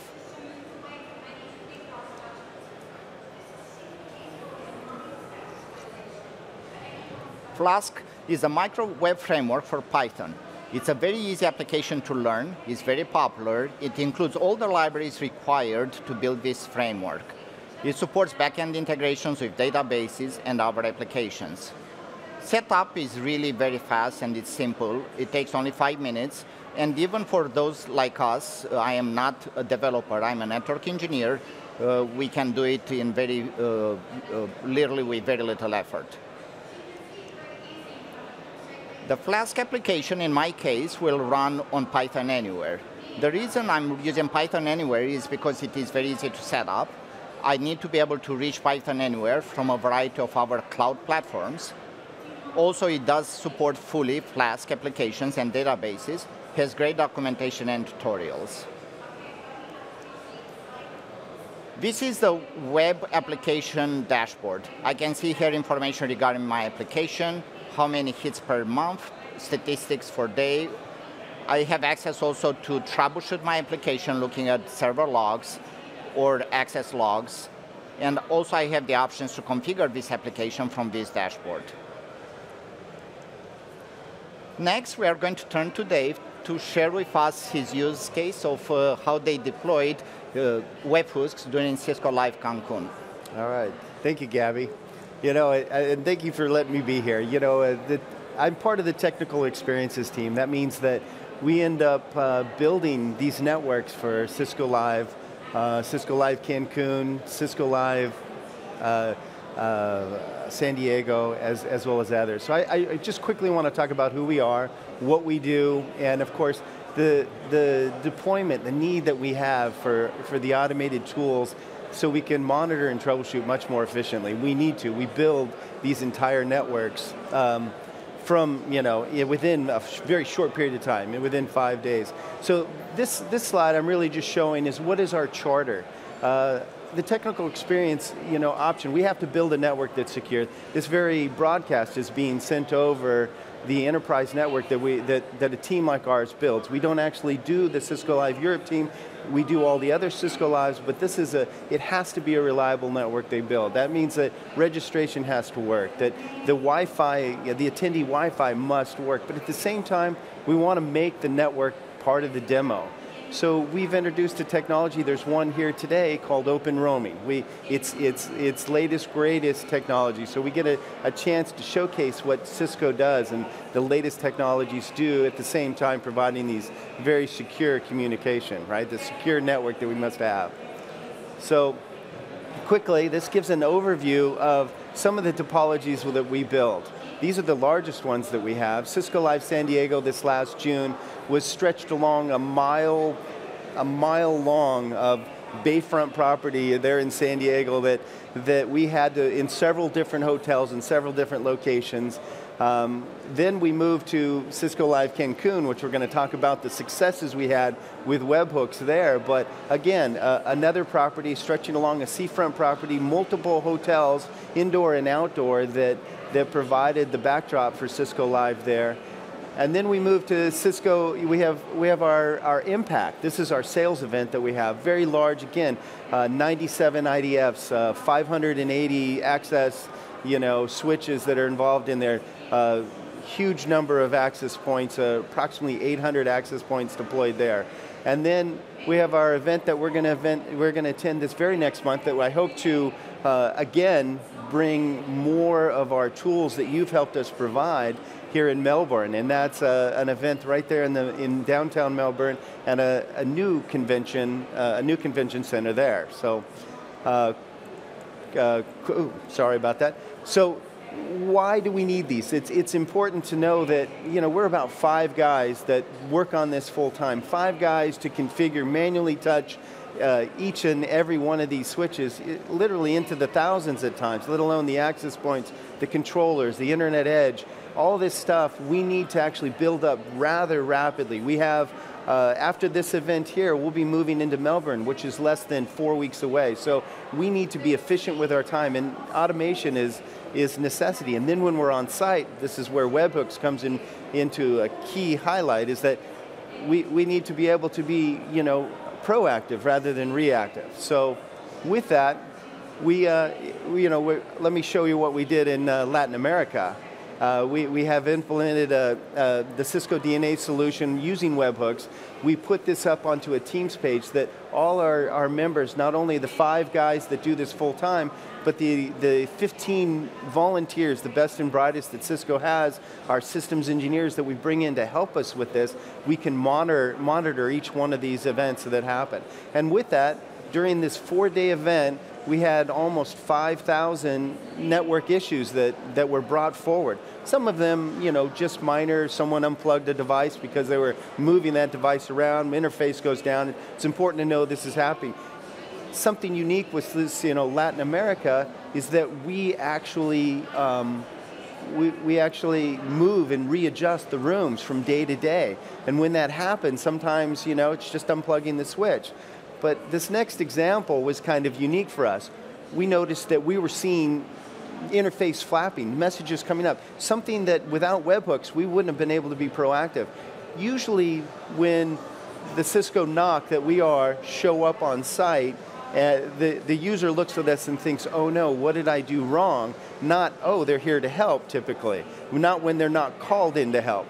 So in our case, we showed up on site, and here we were. We saw this interface flapping. Two of our engineers went up onto the into the, the office and said, we, we think we have an issue, and it was the testing center. The last thing we want is our customers to be in the middle of a, a CCIE exam, and the testing center is, you know, is, is having issues, right? That would be that would be horrible. So we showed up up there. What we didn't know is that we didn't, we didn't pay attention to the testing center's hours. They had closed early that day and they were doing upgrades and machines were upgrading and, and power cycling and ports were going up and down, but it was an expected behavior. But we got to be proactive with that. We've got to be the network that we wanted to be, that we see problems before the user knows or was even aware these kind of things were going on. So we were, we were uh, to say the least, very excited, and webhooks showed its true value for us. So with that, I'm I'm going to hand it back to you, Gabby. Thank you, Dave. The part that is very interesting is that actually we talked in uh, like probably mid-September about webhooks and uh, the use case and the proof of concept that I developed. And then uh, later, maybe about a month, you have a full application stack ready for production, tested, and be able to take full advantage of these capabilities during Cisco Live Cancun. Oh, and it showed too. It's, it, it is very fast for us to innovate and integrate using these kind of applications. And next I'm going to share with you how to build these integrations. Of course, webhooks are great, but we need to use them. And in this uh, next section, I'm going to share with you how we can build an integration between webhooks from Cisco DNA Center to a variety of different systems, like PagerDuty for notifications, Jira, Cloud Service uh, Desk uh, for uh, IT ticketing, and WebEx Teams. You are going to see that it will take only a few seconds from the moment that Cisco DNA Center detects an issue. We are going to have a ticket created in Jira. We are going to be able to send notifications using webhooks to a variety of different platforms. You are going to send notifications WebEx Teams and PagerDuty. Also, this enables us to do other things. We can log all the received notifications for as long as we need. We are going to be able to build reports, dashboards, training, or even analyze them and be able to proactively detect issues that could become chronic over time. It will allow us to have much better accuracy and a lot of different, enable us for a lot of different innovation in time. The webhook receiver, in my case, runs on Python Anywhere, it will receive notifications from the Cisco DNA Center. Once the notification is received, it will be processed and the data transformation uh, will select only the information that is important to create a Jira Service Desk ticket. Using the service uh, ticket, we are going to send a notification to PagerDuty. This notification will include links to the ticket system and the issue and to the Cisco DNA Center issue details. We are always going to send also notifications to our WebEx teams, like the one that you had during Cancun, so the network operators are aware of these new issues. Also, this webhook receiver uh, will publish REST APIs that allow me to get access to all the logs received from all the webhooks, be able to integrate with additional systems like voice assistant platforms. Here is a sample of what the ITSM uh, integration looks to Jira Cloud Service Desk.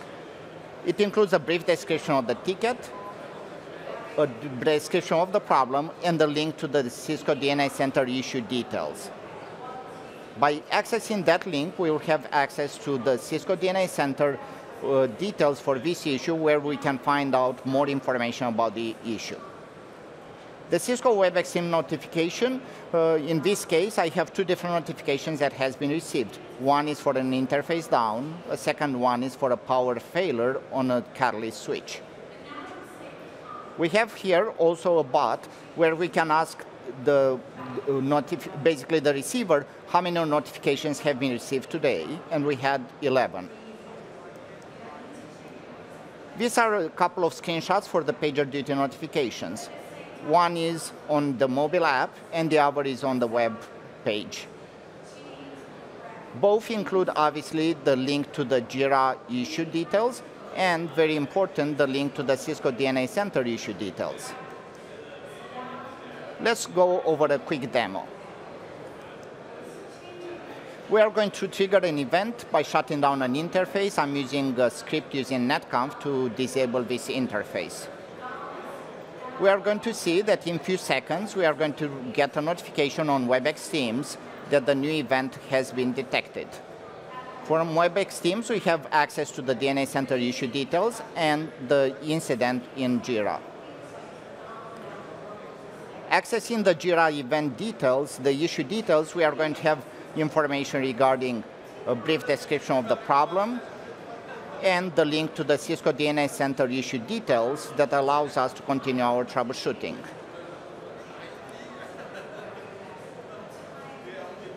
The assurance event details gives us even more details regarding the issue, the network devices that are connected, and the opportunity to run troubleshooting commands on Cisco DNA Center to troubleshoot this problem.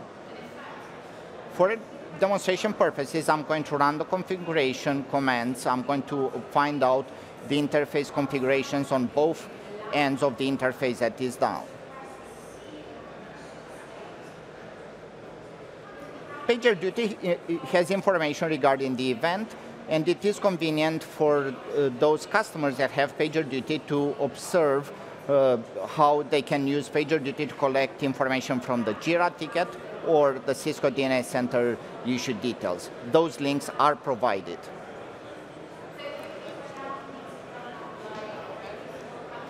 In a summary, Cisco DNA Center Assurance real-time event notifications enable us to build integrations using webhooks. They enable IT organizations to become proactive and provide us access to full issue details and the suggested actions. The sample code for the use case that I presented today can be found in this uh, repository on GitHub. This repository is part of the GitHub Cisco Enterprise Networking Programmability Organization. This organization includes a lot of our use cases and sample code that you may find useful when you use uh, the REST APIs provided by Cisco DNA Center. There are a few other resources that you have available to learn about APIs and how to use APIs with Cisco DNA Center. Those are on the Enterprise Network Programmability YouTube channel where we publish videos with demos of how you can access information that is available on Cisco DNA Center. There are a lot of other resources that are hosted by DevNet with a lot of code on Code Exchange or Automation Exchange.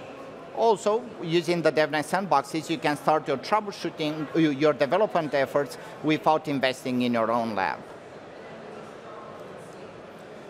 Thank you for joining us today, and should you have any questions, you can reach me on Twitter, or you can find the information on how to reach me, or submit uh, questions on the Cisco Enterprise Networking GitHub organization, or the YouTube channel. Thank you. Thank you, Thanks, Dave. Gabby.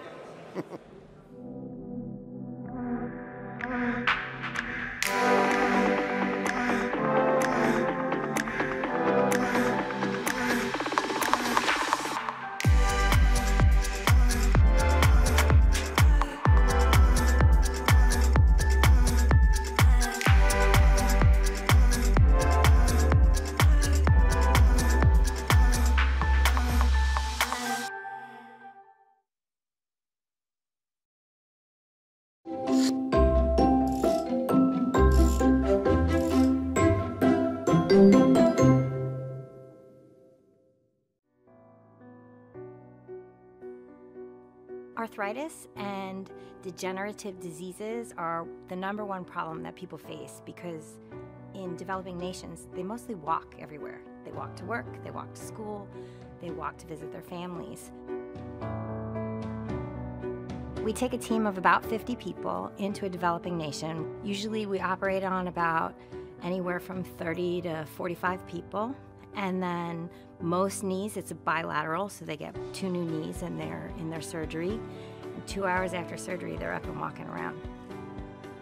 Restoring mobility, giving people the ability to move, gives them all the freedom to live a really fulfilled life. We had a woman in Cuba just in May who hadn't walked in a year, hadn't gotten out of a chair in a year. And she stood up and then she started dancing, like immediately. You know, we had to go, please calm down. but it was exciting and people were crying. And, you know, I, I spent a week in tears of joy because it's just, it's moving every single time. There's never a moment where it's, it gets old. It never gets old. Between limited mobility and a new lease on life, there's Sean Tilka. Cisco. Bridge to possible. There's Rajiv Kumar. Cisco. The bridge to possible.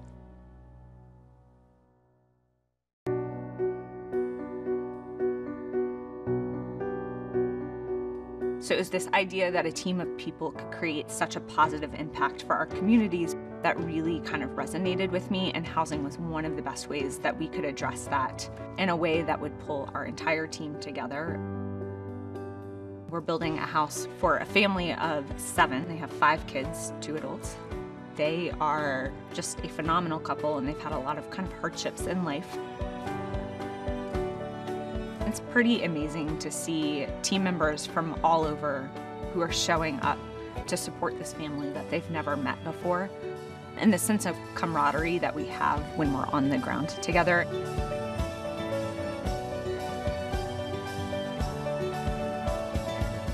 We have the opportunity to do something massive to change the world. Whether it's building a house or whether it's solving hunger, we need to step up. That's, that's really it. Between building a house and building a life, there's Joy Bradley. Cisco, the bridge to possible. Domino's customers have one thing in common when placing an order. They're hungry. They want their pizza, and they want it ASAP, if not sooner. So Domino's began looking for ways to simplify the ordering process. That's when they called Cisco. From the data center to the store, Cisco built a secure, scalable infrastructure that helped streamline ordering. In other words, it got hot food to hungry customers faster, no matter what platform they ordered from, while giving Domino's an edge over their competitors. Delicious. Between craving a better experience and delivering it, there's a bridge. Cisco, the bridge to possible. Wake up in one city, go to sleep in another. Life on the road is relentless. I've been in the music industry for about 15 years now. I've got about 20 tours under my belt. Those tours have taken me all over the world. Tours today rely on tech. This tour relies on Cisco. No matter where we are in the world, when we arrive at the venue, the first question everybody asks is, what's the Wi-Fi password? That's the most crucial piece for setting up our production office and getting to work. We've got over 100 full-time touring staff. Every single one of us uses our phone to communicate with one another. The producers, the dancers, the band, even the lighting trusses communicate with Justin's in-ears over the Cisco Meraki system. So when Justin navigates the stage, they can all move as a unit. There's really no room for error. It needs to work every single time. Cisco gives us the reliable connectivity we need to deliver the best experience possible for Justin's fans. When anybody has a moment to catch a break on tour, the first thing we do is connect with our loved ones. Hi, honey. Anything we can do to feel like we're home. When we are working on the world's best tours, we want the world's best partners, and we're lucky to have Cisco as a partner. It makes our lives so much easier. Between the show and the business, there's a bridge. Cisco, the bridge to possible.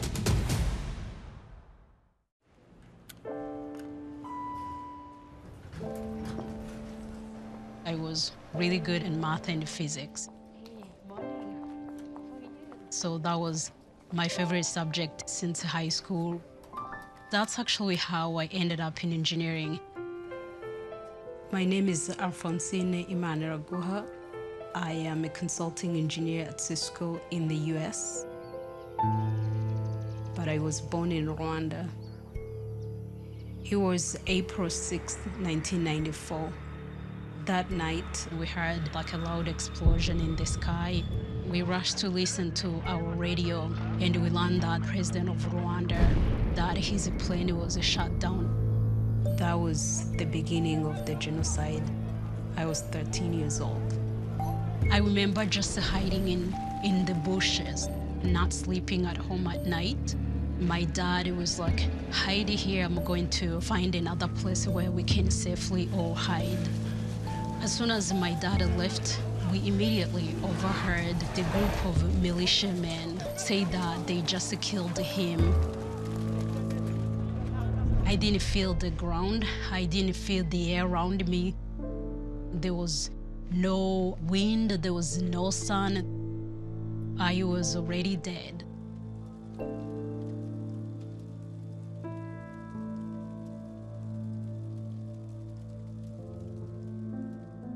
Eventually, I found my three younger siblings.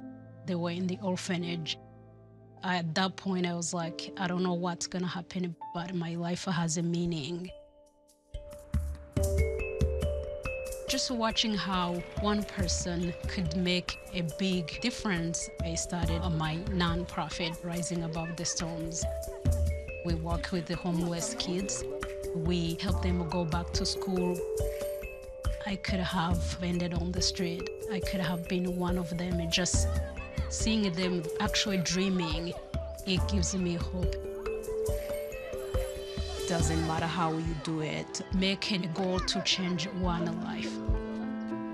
Seeing how Cisco has enabled me to do something I love so much. It's I can't imagine a better feeling in this life.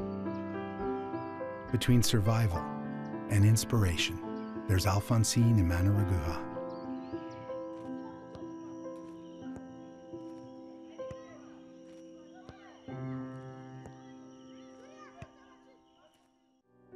I myself was a foster child. I've gone through a, a, tremendous amount of abuse, and I come from a long line of um, addiction and things like that. I've been a volunteer dance teacher uh, for many, many years, and in 2010, one of my 15-year-old dance students was sexually assaulted in the Bay Area and sold throughout California for a year. What I decided to do in December of 2011 was actually to form Love Never Fails, which is um, now the nonprofit that is addressing the issue of human trafficking. So the way that I sought out healing was to become active in this space and do something about it. I can tell you that I have so much joy knowing that I get to be a part of the restoration of these women, men, and children. Just commit one hour a week towards that thing that will feed your soul. And I promise you, it will energize you and it will give you uh, the strength to do 10x what you're currently doing uh, because you'll, you'll just know that every moment that you're taking has, uh, has so much meaning to those uh, around you. Between human trafficking and a future without fear, there's Vanessa Russell. Cisco, the bridge to possible.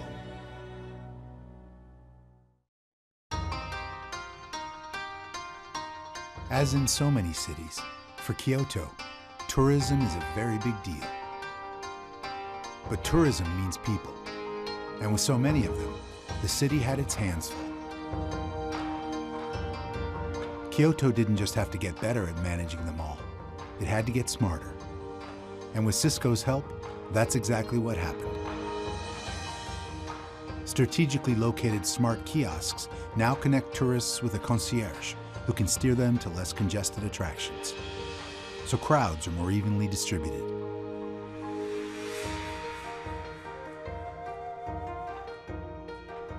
Smart street lighting monitors foot traffic, automatically controls brightness when and where it's needed most, and pinpoints outages in real time so repairs can be made faster.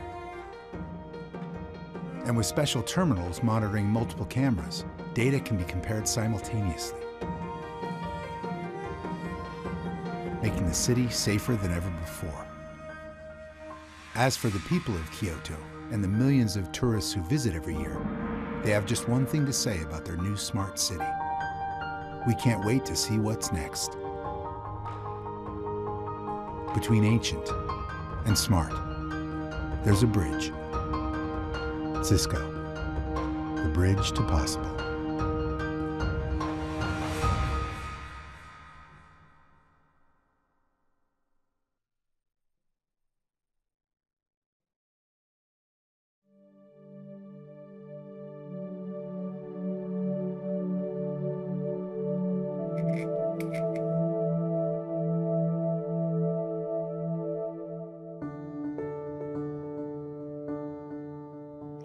Electricity is always there.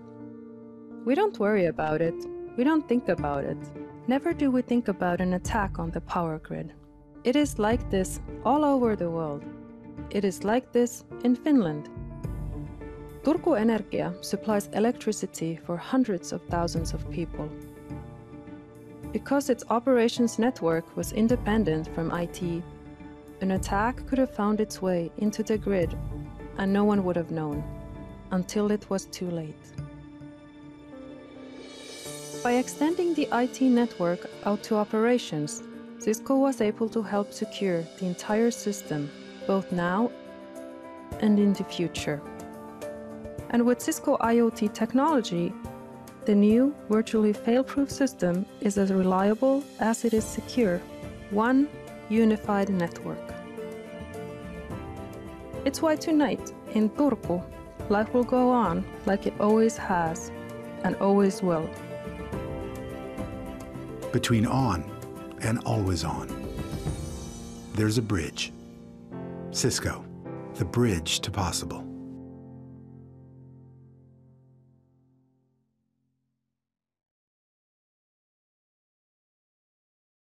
For years, we've been hearing about IoT. Ooh, look, my cat just woke up. Let me put the lights on for her. It's time to get real. This is about big industry changing things, complex things. It's about a network of things that includes this, and these, and that thing, and whatever this is. You've got more data than you can shake a stick at, and that stick generates data too. This is industrial strength IoT. It connects turbines to power grids, pipeline operations to refineries, first responders to life saving devices. It's a big challenge, and it makes a difference to our lives. So, how do you meet it head on?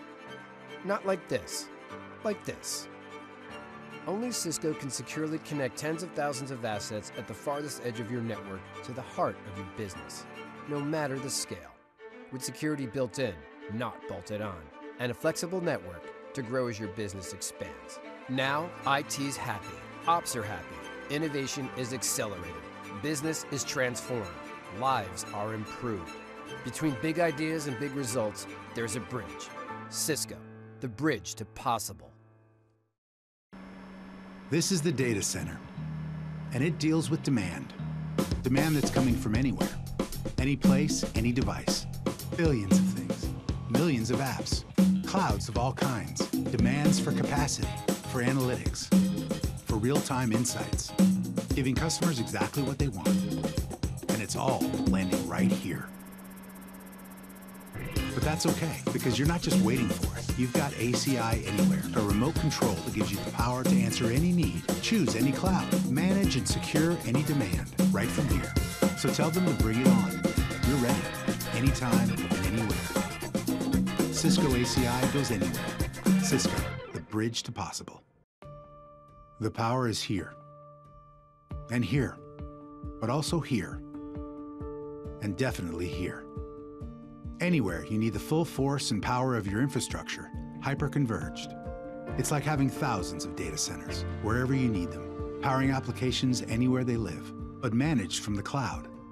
So you can automate everything from here. Cisco HyperFlex goes anywhere. Cisco, the bridge to possible. National Instruments had a predicament. Bandwidth demands were on the increase. And while growth is good, their IT budget wasn't keeping pace. Not so good. IT needed to deliver more bandwidth to offices around the world while keeping spending under control. That's not so easy.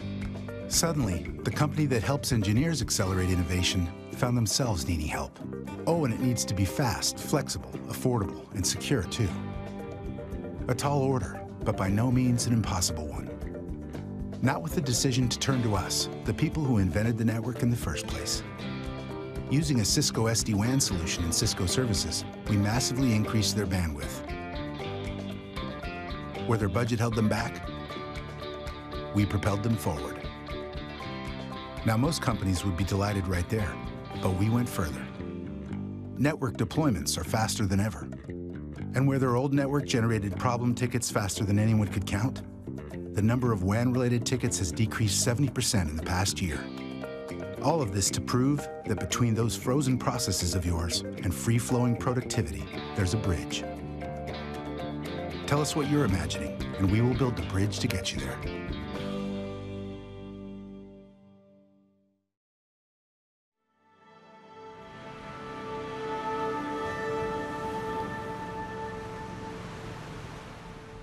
Stel je voor, de eerste zijde uit China.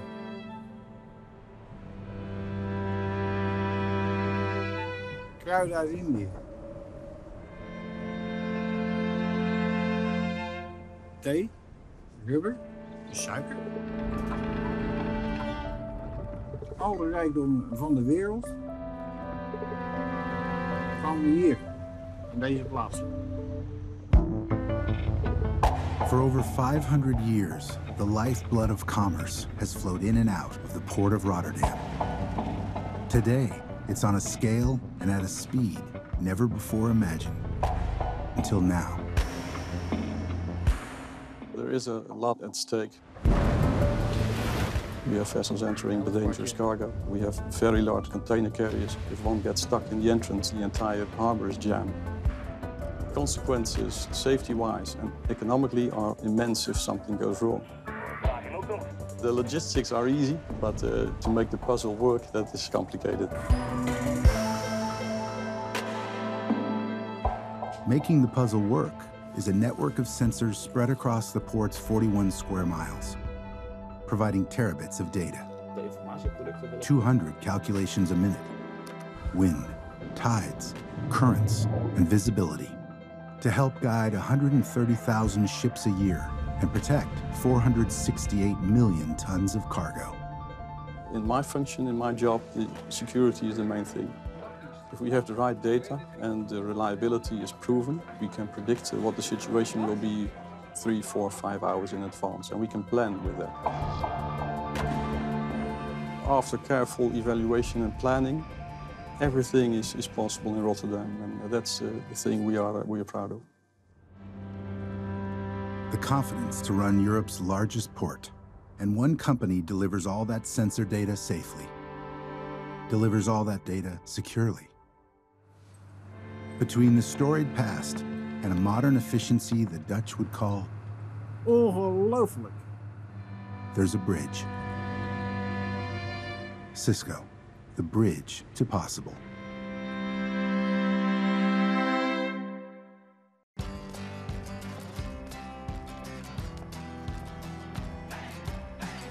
Here's a question.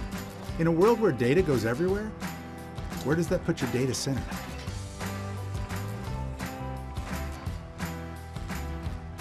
At the moment, trends are born, greeting customers with every detail they need. At the point where all your clouds meet and share. But also on watch, securing everything and everyone. In an uncentered world, you need a data center that extends to every branch, every device, every cloud, everywhere. The Cisco data center goes everywhere your data is.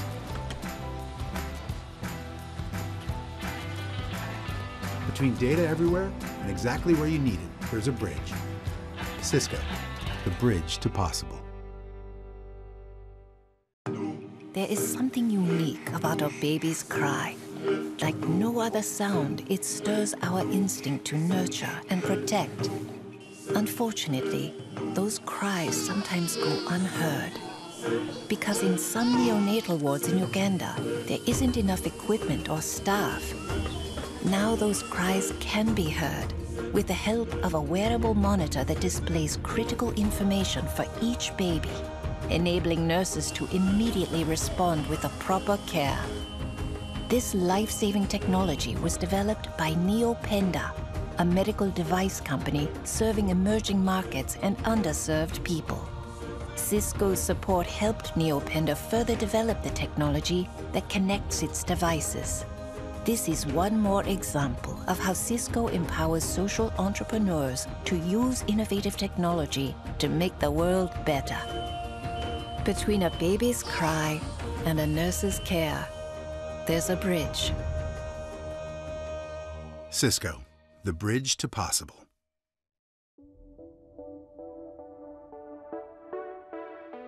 The Ellen Show is the number one daytime talk show in America. By far, the biggest thing we do all year is our Mother's Day event. It's so much fun, and our fans just love it. We spend a lot of time aligning the show with brands that want to be a part of the Ellen experience. Hey, New York. Hi. There were a bunch of moms to be all over the country who tried to get tickets, but they could not get tickets. We're usually working on a really tight schedule. The faster we can launch or join meetings, the better. Hi. I am going to use Cisco video technology to surprise them. I don't want to surprise the baby out of you, but surprise! Some of us are in LA, some of us are in New York. There's an enormous amount of collaboration that goes on between us. And it really doesn't matter if we're on a laptop in our office or on the lot. We're back, and so far, no one in the audience has gone into labor. but we're just getting started. Because we don't always have things nailed down until the last minute, communication becomes a really big deal. Being able to share, tweak, and review Microsoft Office documents within WebEx teams and actually see those changes as they're being made, that's huge. We do hundreds of integrations every year, so we've gotten to the point where if we weren't using WebEx Teams, it would just slow the whole process down. With Cisco WebEx Teams, we know this is going to be the best Mother's Day show ever. Between teamwork and the biggest show of the year, Be kind to one another. Happy Mother's Day! there's a bridge. Cisco. The bridge to possible. Every day, every night, everywhere. People are living on the streets. We see it. We all know it's a problem. But what can we do?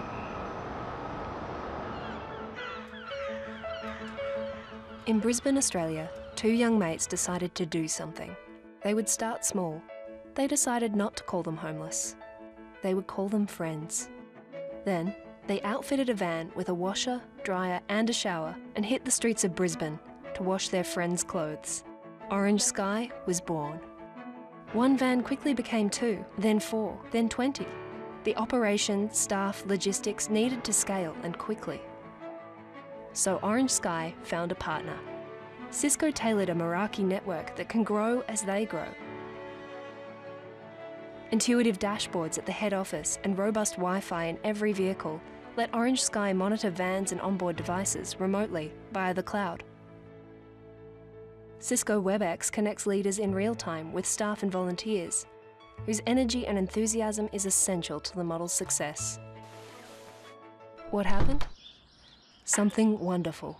While friends waited for their clothes to wash and dry, they talked. A simple connection, joining a community, perhaps for the first time in years. If one load of laundry can do that, who knows what's possible? Between cleaning clothes and creating a community, there's a bridge. Cisco, the bridge to possible. When mankind took its first steps on the moon, the images were captured with a lens made by Zeiss. When precision is in question, in manufacturing, science, medicine, anything, the answer, accurate to 200 billionths of a meter, is provided by Zeiss. Getting it right. Getting it precisely right. For nearly two centuries, Zeiss has set the standard for industrial precision and optic excellence. Looking forward, looking further, and innovating to get there. Now, technology is pushing us faster than ever toward a more connected world. Can Zeiss lead the way? They're already there. Zeiss has partnered with Cisco. Innovation and precision are now online. A team from Cisco Customer Experience working with Zeiss has designed an innovative IoT strategy, setting a new standard for Zeiss connected data. Cisco Kinetic enables Zeiss to securely gather more information than ever, putting it to use in ways never before imagined, predicting performance and protecting uptime. Cisco WebEx brings Zeiss technicians and industrial customers together at a moment's notice, enabling innovation on the fly. The result? More advanced products, happier consumers, increased revenues. What they say is true. They don't make them like they used to. At companies using Zeiss, partnered with Cisco, they make them better. Between precision and the pace of business, there's a bridge. Cisco, the bridge to possible.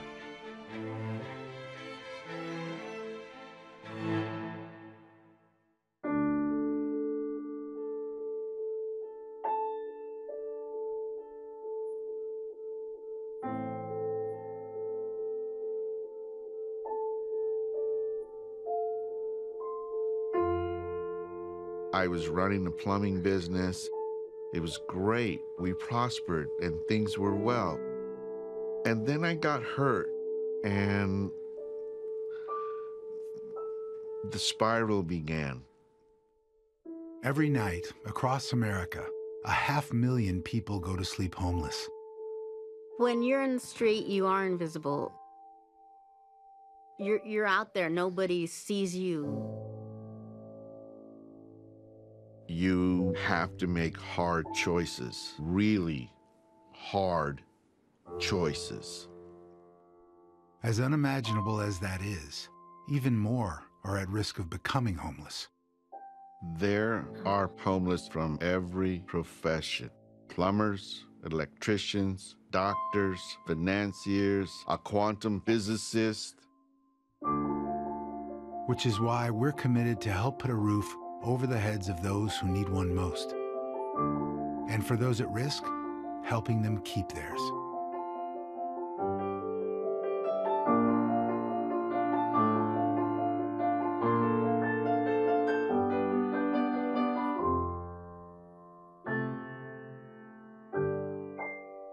With all the homeless people out there, we were chosen for an apartment. It's better than the lottery. This is a place to live. Together, let's be the bridge to a place called home. I don't know you, but I love you for what you've done and how you helped me.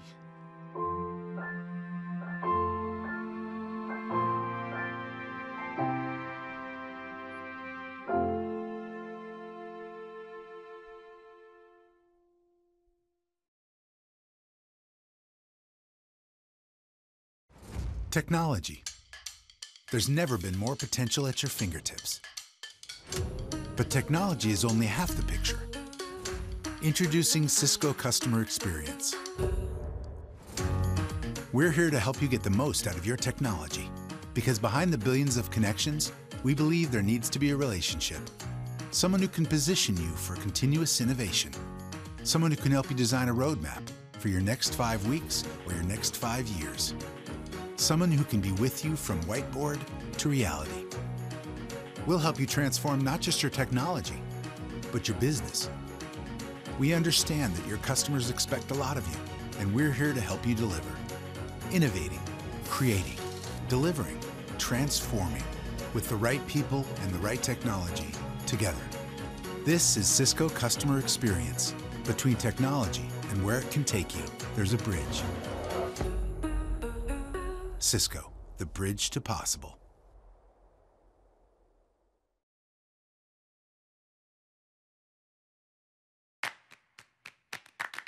Technology often comes down to a choice this or that. Do you need 5G or Wi Fi 6? Mobility or security? Should you be in the cloud or a data center? Do you need this gen or next? The answer to all these questions is yes. Now you don't have to choose because there's one network that's ready for anything. It's called intent-based networking, and it's only from Cisco. A system built for Wi-Fi 6? Yes. And ready for 5G? Yes. And the numerous machine languages of the IoT? Yes. What about security and threat detection? VR, AR, AI. The answer to your question is yes. Intent-based networking from Cisco. Wireless first, cloud-driven, data optimized. Between what's now and what's next, there's a bridge. Cisco, the bridge to possible.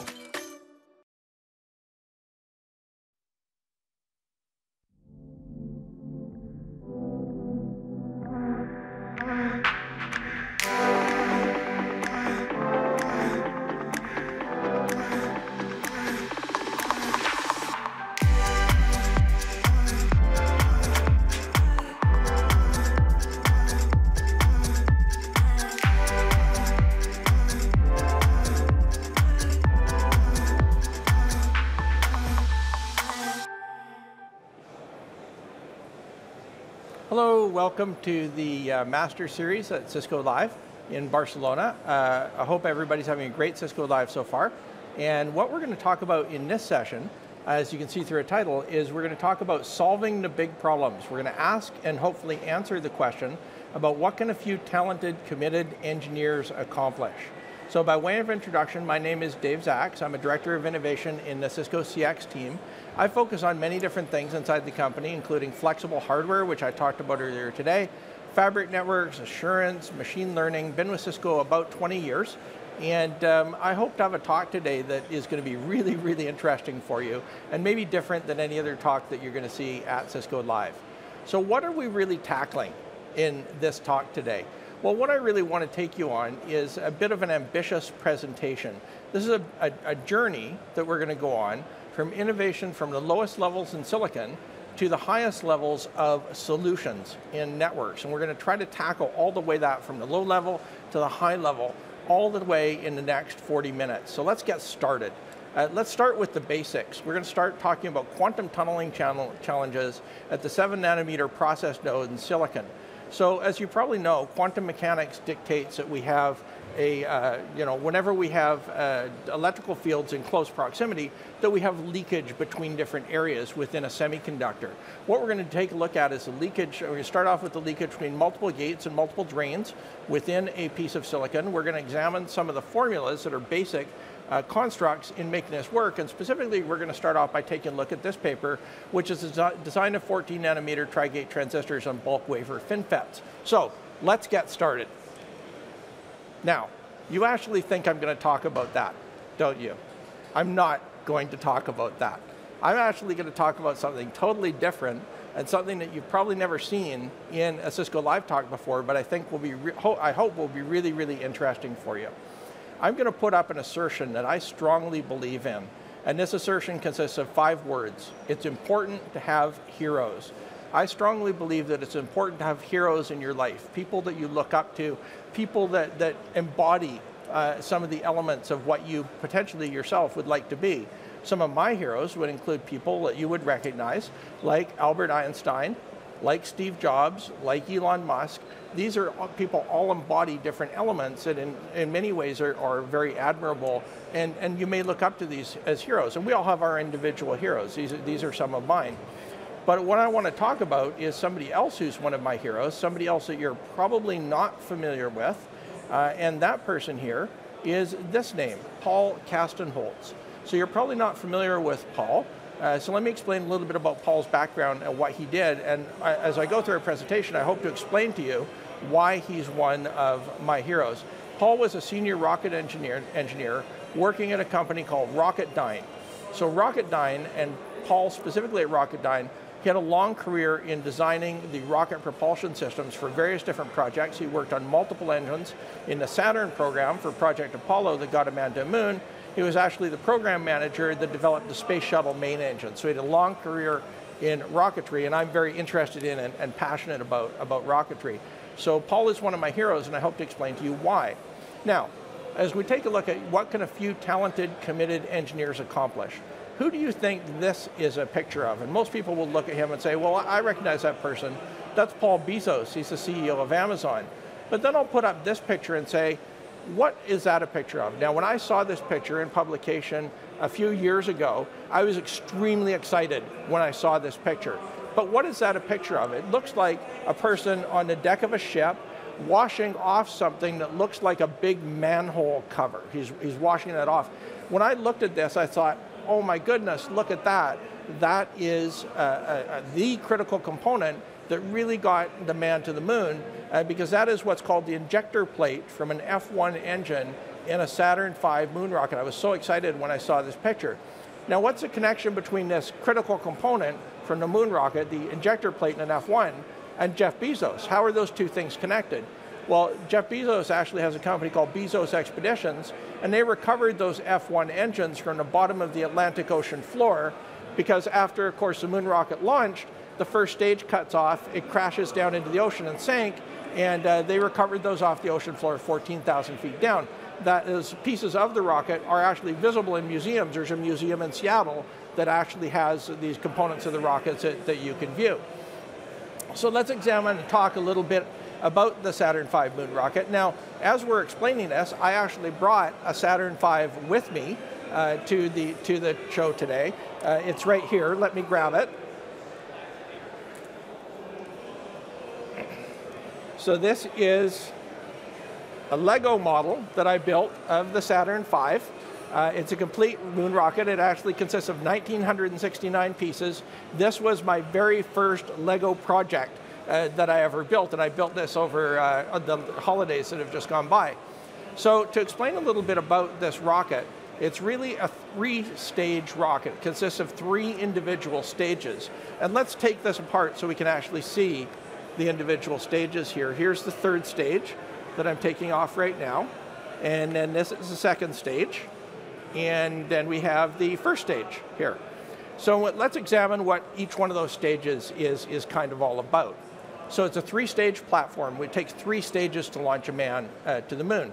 The complete rocket, as you can see here, weighs about 6.4 uh, million pounds, fully fueled, so about 3,000 tons fully fueled. It has about 7.5 million pounds of thrust in the first stage. So 7.5 million pounds of thrust, 6.4 million pounds of weight, 1.1 million pounds of positive thrust, and, and, and up it goes. So 7.5 million pounds of thrust comes out of five engines in the rocket. Then we have the second stage, which also consists of five engines, but they're a different type of engine called a J2 engine. This is a cryogenic engine. Altogether, they develop about, about a million and a half pounds of thrust. That's out of the second stage here. And then finally, the third stage, which uh, is one, one uh, J1, uh, J2 engine, and this is what actually the, the stage that would take the man to the moon. This component would go into orbit around the Earth. Uh, this stage would actually burn again a second time to launch the person towards the moon. Then they would jettison the third stage, and the lunar module and the command service modules would actually, would actually uh, end up going to the moon. So we're going to talk a lot about the development of this rocket, specifically about the development of the engines on the bottom of the first stage, because that's really what my hero, uh, Paul Castenholz, worked on and uh, perfected the rocket engines that are in there. So this vehicle is one of the most complex machines that's ever been built by humans. It had over 3 million parts in the rocket in total and stood fully assembled over 363 feet tall. So it's just a massive, massive thing. If we had a human being standing next to this, the human being would be smaller than my fingernail here compared to the total size of this rocket, just to give you some idea of how, how large that actually is. And there was actually challenges between the different teams, the German team and the engineer, American team that were working on developing this rocket in terms of doing what they called man rating the rocket stack. In other words, how many times do we build this rocket in total before we dare to put a person on top and actually launch it? That's called man rating the rocket. Now, if you take a look at what the commitment that the United States made of getting man to the moon, you had John Kennedy who stood up and said, this country should commit itself before the decade is out to the goal of landing a man on the moon and returning him safely to the Earth. In other words, this is a goal, landing a man on the moon and returning him safely to the Earth, and this is the goalpost before the decade is out. So in order to actually get to the stage where they could be prepared to launch this complete, very, very complex vehicle to the moon, there's two approaches to engineering that. One would be to build and test the first stage multiple times. Then uh, once you've got that perfected, to build and test the second stage multiple times. And then once you've got that perfected, to build and test the third stage multiple times. And if you had unlimited time, you could do that. But we have to get a man on the moon by the end of the decade. So that was just several years to, to get it all done, to build and assemble this, this massive rocket. So they moved to a, a, system called all-up testing. All-up testing basically says they built the entire rocket stack all at once, all that complexity, and launched it all at the same time, right? So this was uh, the concept of all-up testing, which was really the brainchild of a gentleman named George Mueller, uh, who pushed this concept through uh, to considerable resistance, I might add, initially inside the organization but eventually they had to move to all-up testing to meet this timeline, to meet this goal. So you can imagine the pressure that was on the engineers to achieve such a complex thing in such a short amount of time.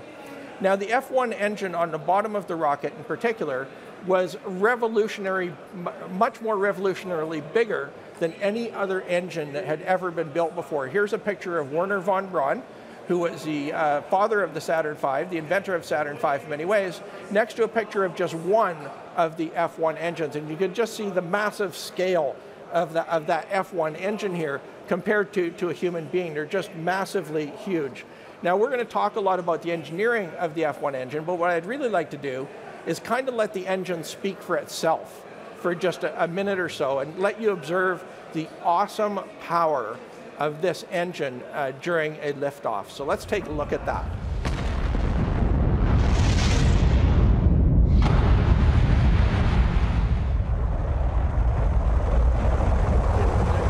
Actually being sucked down into the vacuum of the engine as it creates it during launch.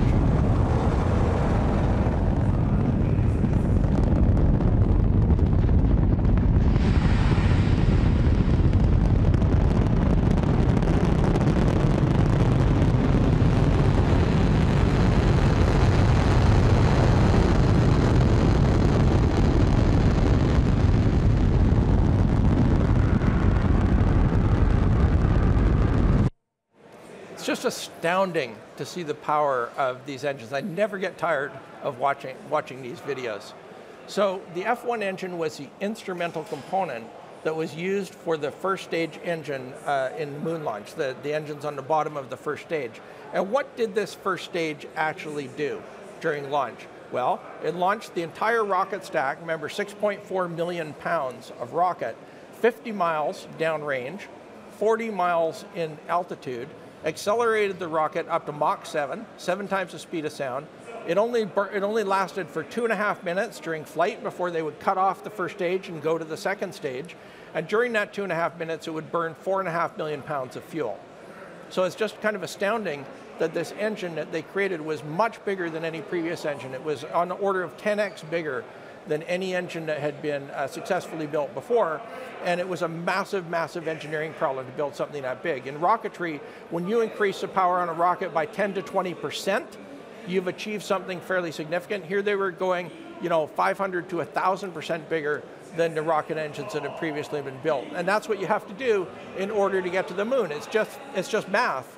You work backwards and say, the, the space capsule weighs this much, the lander weighs this much, and you just do the math and work backwards, and you find out that the rocket to get to a moon has to weigh on an order of six to seven million pounds. So it's just a massive, massive structure. So here's a close-up view of a little bit of the F1 engine. I'll just point out a few key components to it here. A million and a half pounds thrust per engine. This is the biggest liquid-fueled rocket engine, even to date, that's ever, ever been built. Uh, it had uh, chamber pressure approaching 1,000 psi inside, 1,000 pounds per square inch and a temperature inside the combustion, combustion chamber uh, approaching 6,000 degrees. So imagine the materials that you have to build this out of to withstand that kind of temperature and pressure. So uh, let's zoom up a little bit on the top of that engine. This is a picture I actually took of the back of one of those engines when I was visiting this at, at uh, Cape Canaveral at Kennedy Space Center. And one of the things I've circled there, if you can see it, it might be a little bit hard to see, but right in the center here, you can see this, this component which is, uh, if you recognize it, is that plate, the, fuel, the injector plate that that person was washing off on the, on the deck of the ship before. That's what sits right at the top of the engine bell, and the injector plate is where the fuel comes together, what we call RP1 and LOX. RP1 is rocket propellant 1. It's basically a highly refined form of kerosene, and liquid oxygen come together at the injector plate, mix, and combust and burn. So the fuel rates through that engine are pretty astounding uh, 28,000 gallons, or pardon me, 24,000 gallons of uh, liquid oxygen and 15,000 gallons of RP1 per minute per engine. That type of flow rate, by the time we have five engines on the bottom of the Saturn V, will empty an Olympic-sized swimming pool full of fuel within about three minutes. So it's just an astounding amount of, of, of uh, fuel that has to flow through these injector plates. Now the big problem they had when they developed this engine is it's what we call dynamically unstable. So let me explain a little bit about what that means. When the engine is burning and the fuel is combusting, there are pressure waves that form within the engine bell. This is normal and natural, but the engine waves need to dampen themselves out. The engine, the pressure waves basically need to dampen out in there so that we don't get uh, our self-reinforcing uh, uh, construct going where basically the, if, the, if the pressure waves start to feed on themselves, the engine within a couple of seconds will either melt or explode. And if that's happening below 6 million pounds of highly volatile rocket fuel, it would instantly be adios rocket, adios astronauts, and because that would be happening live on national TV, adios moon program. So uh, it's very, very important that to solve this problem of the instability of these engines. Now, what they do when they're testing engines is they put them onto a test stand out in the desert and they test to see how well does a rocket work. We burn it for a few seconds and a few seconds more and a few seconds more up until the full rated thrust of the engine. And in, in June 28, 1962, combustion instability resulted in a total loss of one of these F1 engines. So what that means is, when they were putting it on a test stand like this, you can see the big fuel tanks up top, and you can see the engine burning at the bottom, just like we saw in the video, that engine burning, they're burning the engine on the bottom there. Uh, one of these engines basically exploded on the test stand, totally destroyed the test stand, fuel everywhere, rocket components everywhere, and uh, if that had happened for real during a launch, it would have been a total loss of, of the rocket. So as von Braun dryly remarked at that point, this problem of combustion instability assumed new proportions, right? It's, it's taking, a, taking a gentle stab at it, I suppose.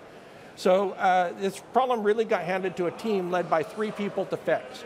Jerry Thompson from NASA, my hero Paul Castenholz, and Dan Klute from Rocketdyne, the company that was actually building uh, the rockets. They have to diagnose the problem, come up with a solution, and test the F1 unit until they can actually certify it as flight ready. Now, this combustion process is too complex to be simulated on a computer. They basically have to resort to seat of the pants engineering, throwing every, all their skill and all their focus at solving this problem. And what's at stake here? If they can't fix this engine, nothing else matters the entire moon program rests on getting these engines on the bottom of the Saturn V to work and to work reliably. In other words, this is a situation, right? They have to solve the problem. This is a complication. It's too complex to simulate. And this is the implication of what's at stake if they can't fix this problem. Now let's zoom in a little bit more on that. This problem actually took over 24 months to solve, over two years to perfect this engine. But this wasn't just happening in isolation. If we take a look at the timeline here, up to and through the moon, the moon landings, this was a timeline when they were working on testing and perfecting, if they could perfect it, the F1 engine. About that two year period. But all of Project Apollo was going on at the same time. Now I've adjusted the costs here of Project Apollo into today's dollars, and you can see through this graph that at the peak of Project Apollo, it was over $40 billion a year that the moon program was, was, being, was being expended on the moon program. Over $200 billion in total in terms of adjusted dollars. And if they can't get the F1 engine working during this period here, this two year period where they have to basically solve all the problems with it, then none of the rest of this is going to be possible. There aren't going to be any moon landings. There isn't going to be a space race. There won't be Skylab. There won't be all the things that, that came out of the Apollo program. And you also have to remember, this wasn't happening in isolation. All the rest of the Apollo program was going on at the same time. The people developing the second stage and the third stage and the lander and the, and the Apollo spacecraft, the, the uh, command service module, all that being developed at the same time. The ground support facilities, everything else, uh, all the subcontractors. There were over 400,000 people working on Project Apollo at the peak. But if these three people leading this team can't solve this problem, there's not going to be any moon landing. So imagine the pressure on, on these engineers to, to solve this problem.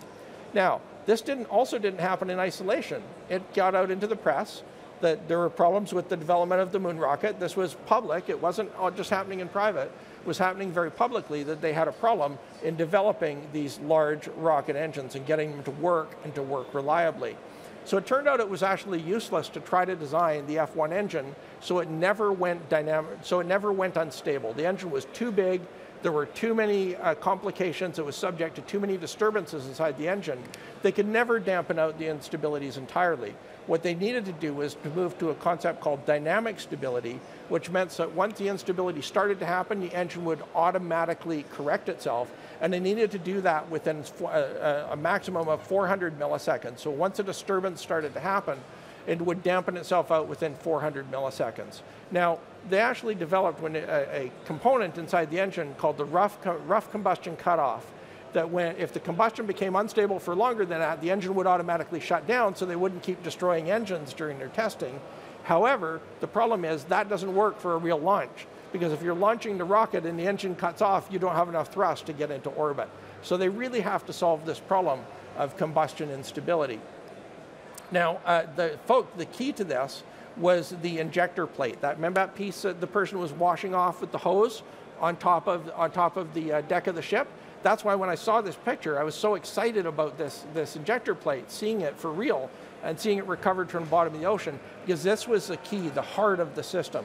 Now, if you look at that injector plate, you'll see hundreds and hundreds of holes. There's about 3,700 holes on it in different patterns, in different places. And then there's these big copper baffles that are around it. Those holes are how all the liquid fuel, both the RP1 and the liquid oxygen, are, are vaporized and injected into the engine bell. And it turns out the, the placement of the holes, the pattern of the holes, and the placement and pattern of the baffles has everything to do with the shape of the flame that burns at the bottom of a rocket engine and has everything to do with controlling or not controlling the combustion instability problem. So the uh, engineers initially installed a series of copper baffles. I've highlighted some of them here so you can see them. And uh, these helped to control part of the problem. Uh, they basically uh, had problems developing these too because the initial ones they put in were too small. They warped under the, the pressure of a massive uh, uh, flame of, of the, the engine would burn with. And so a few quotes here from Jerry Thompson. We tried every trick we could think of. It got so the engineers couldn't come up with a theory for the plate that they hadn't tried before. So they had to keep iterating and iterating and iterating at this problem. And one of the big challenges they had is that the combustion instability was both intermittent and unpredictable. Does that sound familiar to anybody who's dealt with networks before? Intermittent, unpredictable problems? I think as network engineers, we can kind of empathize with that. Uh, there was no consistency. The combustion instability would happen for reasons that the engineers never really quite understood. So they had to keep iterating and iterating on solving this problem without necessarily having a great definition of what the problem was. Now, uh, they uh, had to eventually got to a point where the engine would no, no longer become dynamically unstable. But that wasn't good enough for these engineers. They decided that they had to introduce instability into the engine. In other words, they wanted to be able to produce instability on command. So what they would do is they got to develop a test where they would actually initiate instability by putting a black powder charge, basically a bomb, inside the engine bell and set that off while the engine is firing. In other words, when you have the engine firing on the test stand like this, they would set off a bomb inside the engine that would cause a massive momentary overpressure, and the engine had to survive that too. Obviously, that could never happen for real in flight, but they needed to introduce instability, the worst possible instability, and then the engine had to dampen this out as well. So really it became about testing and iterating and testing and iterating, small refinements, small steps forward to move towards their goal. And in mid-1964, they actually came to a conclusion of changing the angles of the holes within the injector plate. Uh, this actually reduced the efficiency of the engine a little bit, but it markedly improved combustion stability. So more and more adjustments were made till eventually they could set off a bomb inside the engine bell while the engine was firing and the engine would dampen out that instability, not in 400 milliseconds, but in 100 milliseconds. So this was a major, major achievement in terms of making this engine uh, stable enough to launch people on. And this really for Rocketdyne was the turning point. So if we take a look at this, this, this graph here shows the cumulative burn time on the F1 engine. That you can see how it starts off with not very much burn time in 1962 and 1963, and they're getting more and more time burning and, and testing the engine. That two-year period, two-year plus period we talked about before, was broken into about seven months of testing with low thrust, and about 11 months of testing with rated thrust, with full rated thrust, so about 18 months of testing, during which they would test and refine for that spontaneous combustion problem, spontaneous instability problem. And then about nine months more of testing with forced instability, that's setting off the bomb inside the engine bell. So by the time they got to the end of this, they had a very smooth running engine that would work smoothly under almost any conditions. And you can see from there, they got more and more and more testing, more and more burn time into the engines to a point where uh, they were ready to actually do the first flight the first full flight. Remember, we talked about all-up testing because this is not this is just the first stage, but they were also testing the second stage, the third stage, uh, all-up testing. First flight of the Apollo uh, Saturn V moon rocket. The first crew was put on the rocket here in late 1968 with Apollo 8, and they orbited the moon. Apollo 11 launched in July 1969, landed on the moon on July 20th, and then all of the follow-on missions, and even beyond Apollo, including into Skylab. If we take a look at the uh, what was achieved here, if you, Rocketdyne will say that the um, one of the stiffest challenges the company ever faced was their combustion stability investigations, and solving those was one of their most satisfying achievements all rocket engines have this concept to some level of combustion instability, but the huge size of these engines dramatically increase the size of the challenge in terms of solving it. And that injector plate was really key to solving it. That's why I, I make the assertion that this was a key component that got a man to the moon. Now here's the result. The Saturn V is one of the most successful launch vehicles that was ever launched, never suffered, suffered a catastrophic failure of the F-1s. And, and look at that rocket in flight. Remember I said the rocket itself is 363 feet tall? But the flame coming out of the back of those engines is a third of a mile long. It's just incredible, the, the, the power and, and the capability of these engines, and it was really an engineering triumph uh, to, to create these. So uh, that's why I got so excited when I saw this picture of a person sitting on the deck of a ship, washing off that component, washing off the injector plate, because to me, this is the central component that put a person on the moon. And just an incredible uh, feat of engineering. And remember, this really came down to only a few people to solve this out of you know 400,000 working on, on Project Apollo. So how is this related to what you, as a network engineer, do every day? I mean, I, I, I really like rocketry. I hope you can see, sense of my passion about rockets and high performance aircraft and this kind of thing. I'm very, very passionate, very interested in those things.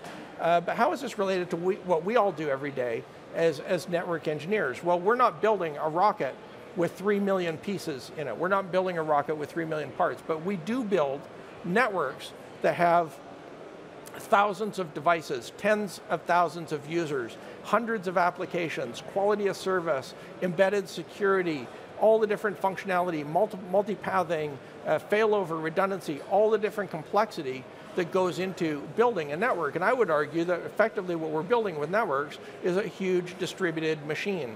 Just like building you know, the, the complexity of a rocket, we're building the complexity of uh, the massive networks that, that we all work on. So in my, in my opinion, it's very comparable. And also, just like the moon landings depended on this rocket, your company absolutely depends on the network. Think about what happens in an organization if you take the network away. If you were to say, okay, I've got a major, let's say, hospital, and the network simply goes down, goes away, that's probably pretty catastrophic to the functioning, the proper functioning of that organization. So companies that you deal with, depend, no matter what industry you're in, manufacturing, healthcare, retail, everybody depends on the networks that we all build, that you build. And as a network engineer, you get to design the solutions. You get to solve the big problems. In other words, you get to be the hero, just like my hero, Paul Castenholz. So I think it's, it's critically important to understand the level of uh, importance and the level of, of criticality to what we all do in building these large, complex, distributed networks. Uh, you should be proud that you get to be the person that actually gets to step into the breach and solve these big, important problems when they arise and design the solutions and the next generation solutions. It's an incredible privilege and you're carrying on an incredible heritage of the engineers that have gone before you that maybe worked in a different discipline like rocketry, but really there are many, many things that are comparable uh, between the, you know, what a rocket engineer would work on and what a network engineer would work on. So, uh, like I say, this is one of the reasons why Paul Castenholz is one of my heroes because he was central to leading this team to solve the problem with the F1 engines on a Saturn V. So if we take a look briefly at what does the future hold, uh, in my opinion, we're living in another golden age right now of space exploration. Just like the 1960s was a golden age with Apollo, we're really living in a golden age in many ways. Most people probably know there's a, a mission underway inside NASA called Artemis, Art Artemis 3. The Artemis 3 mission is designed to put uh, people back on the moon by 2024. Uh, this is the, the current goal. And that will actually launch on a new rocket that, that NASA is building called Space Launch System.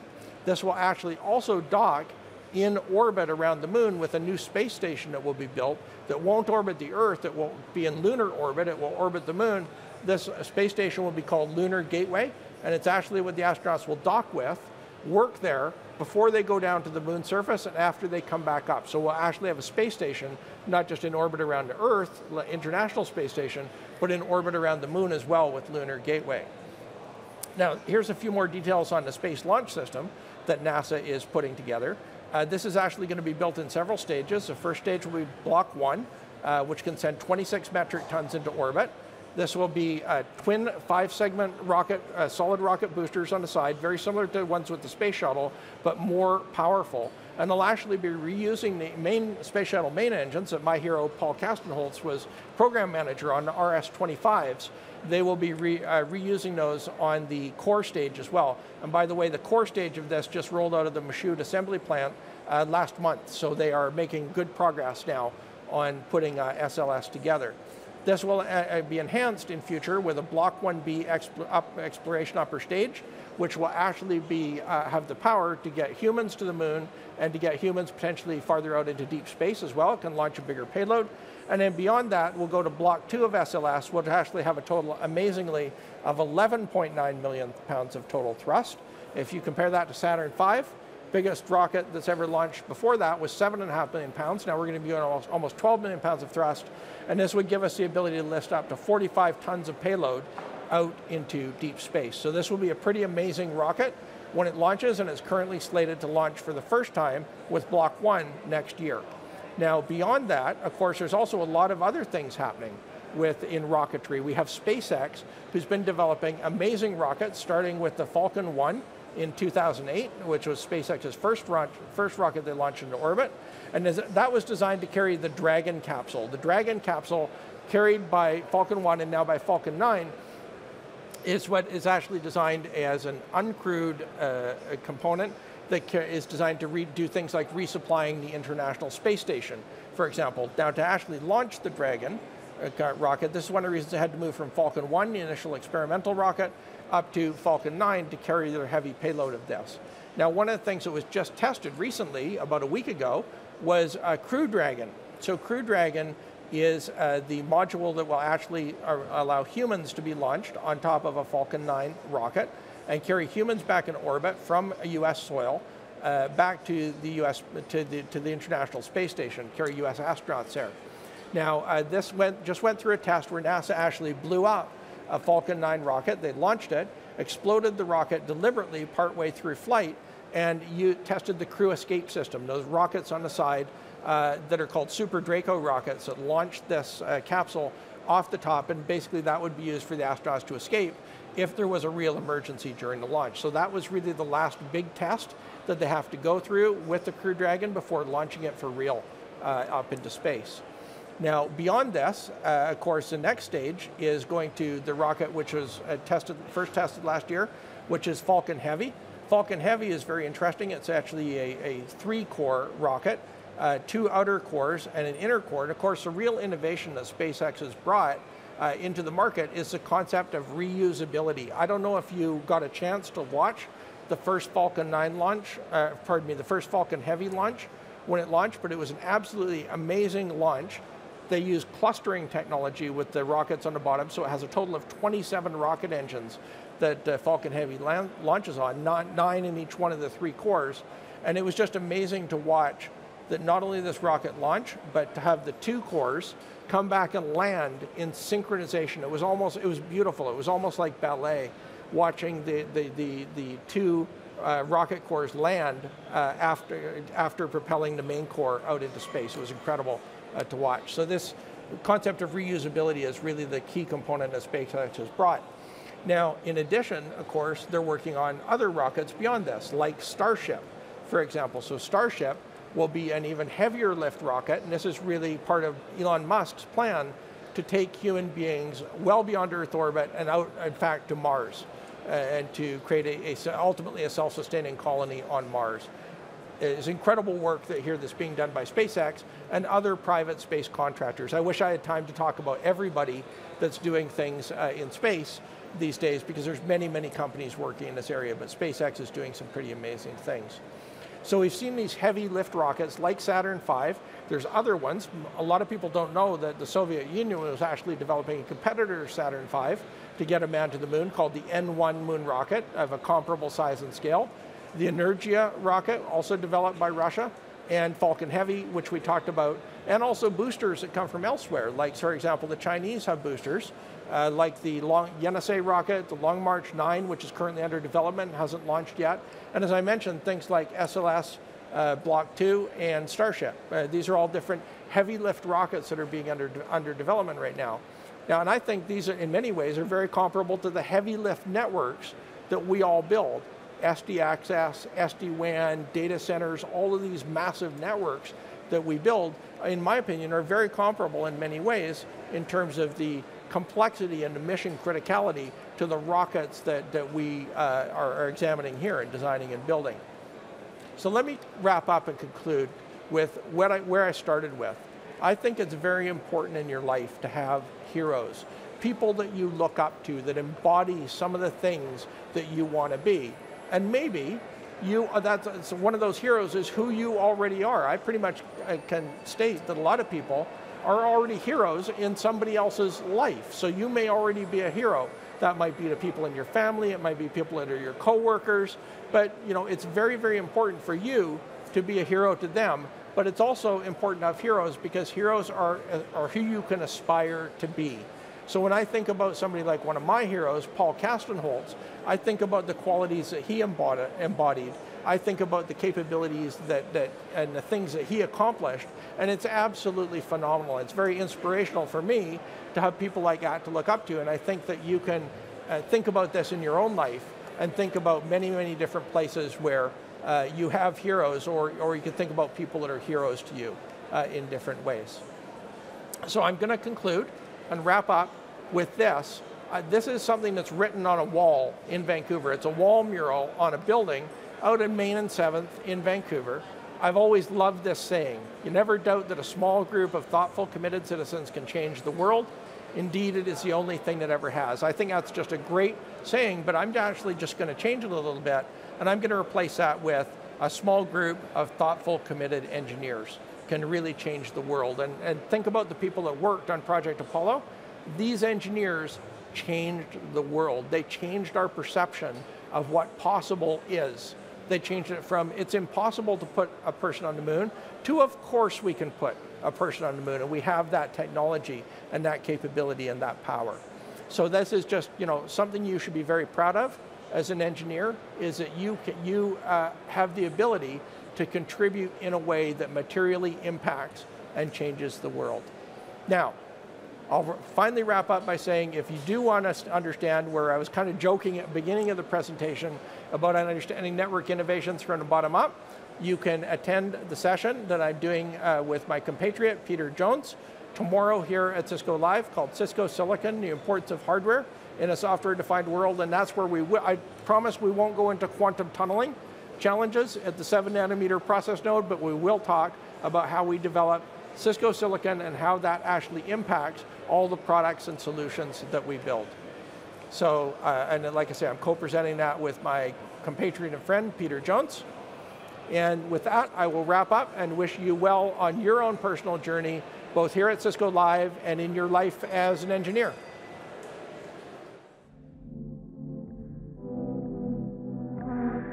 Bye.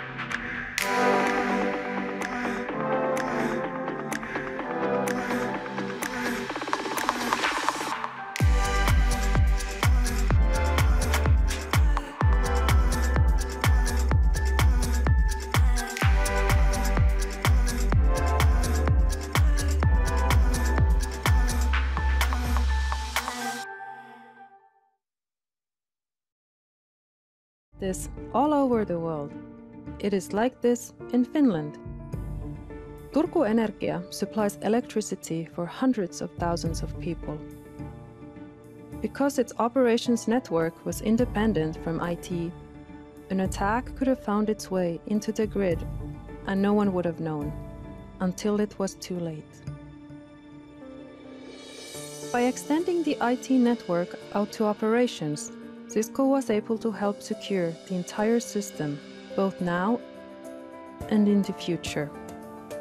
And with Cisco IoT technology, the new virtually fail-proof system is as reliable as it is secure. One unified network. It's why tonight, in Turku, life will go on like it always has and always will. Between on and always on, there's a bridge. Cisco, the bridge to possible.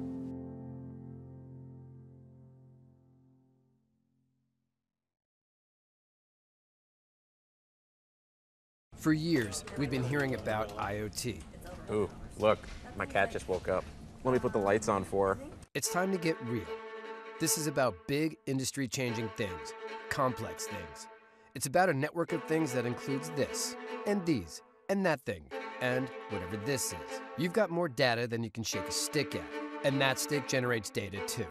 This is industrial strength IoT. It connects turbines to power grids, pipeline operations to refineries, first responders to life saving devices.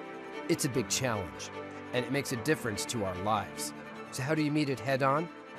Not like this, like this. Only Cisco can securely connect tens of thousands of assets at the farthest edge of your network to the heart of your business, no matter the scale.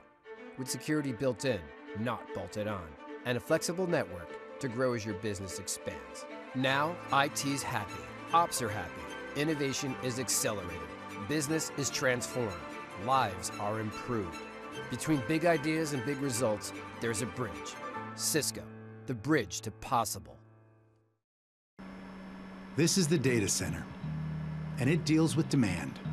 Demand that's coming from anywhere, any place, any device.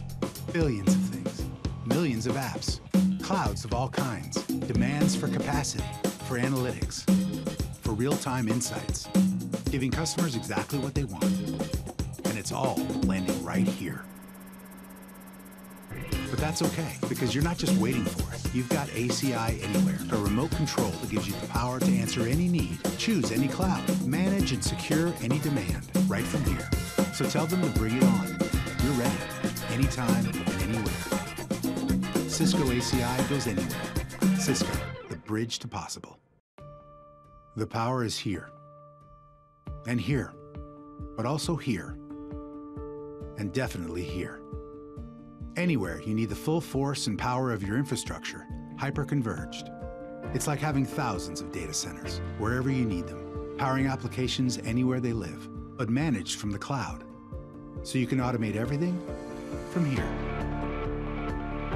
Cisco HyperFlex goes anywhere. Cisco, the bridge to possible. National Instruments had a predicament. Bandwidth demands were on the increase. And while growth is good, their IT budget wasn't keeping pace. Not so good. IT needed to deliver more bandwidth to offices around the world while keeping spending under control. That's not so easy.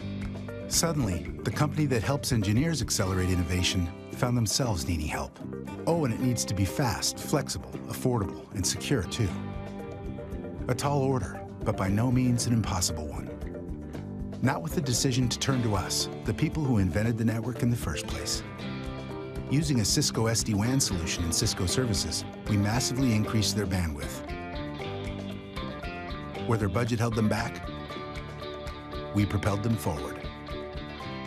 Now, most companies would be delighted right there, but we went further. Network deployments are faster than ever. And where their old network generated problem tickets faster than anyone could count, the number of WAN-related tickets has decreased 70% in the past year.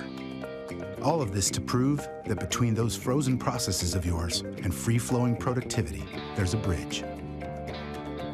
Tell us what you're imagining, and we will build the bridge to get you there.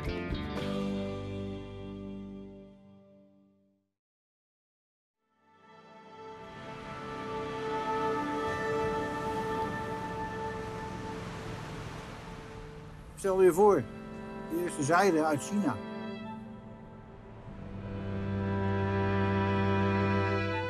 crowd are in there.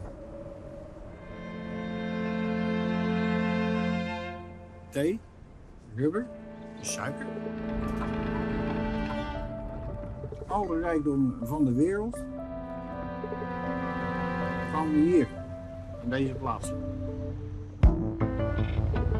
For over 500 years, the lifeblood of commerce has flowed in and out of the port of Rotterdam. Today, it's on a scale and at a speed never before imagined. Until now. There is a lot at stake. We have vessels entering the dangerous cargo. We have very large container carriers. If one gets stuck in the entrance, the entire harbor is jammed. Consequences, safety-wise and economically, are immense if something goes wrong.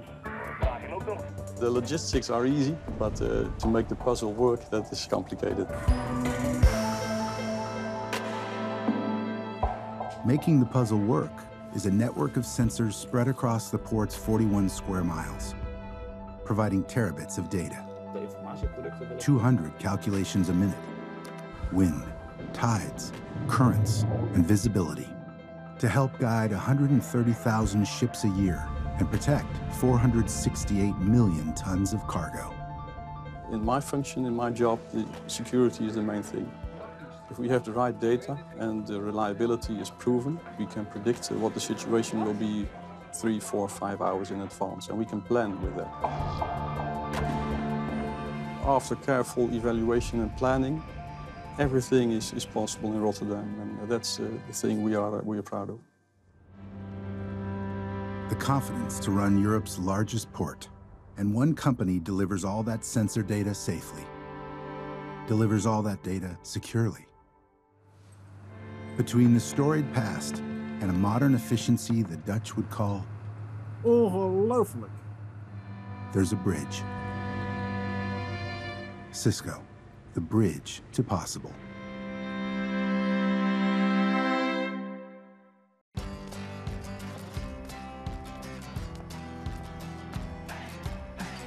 Here's a question.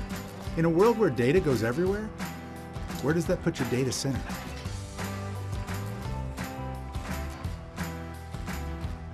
At the moment, trends are born, greeting customers with every detail they need. At the point where all your clouds meet and share. But also on watch, securing everything and everyone. In an uncentered world, you need a data center that extends to every branch, every device, every cloud, everywhere. The Cisco Data Center goes everywhere your data is.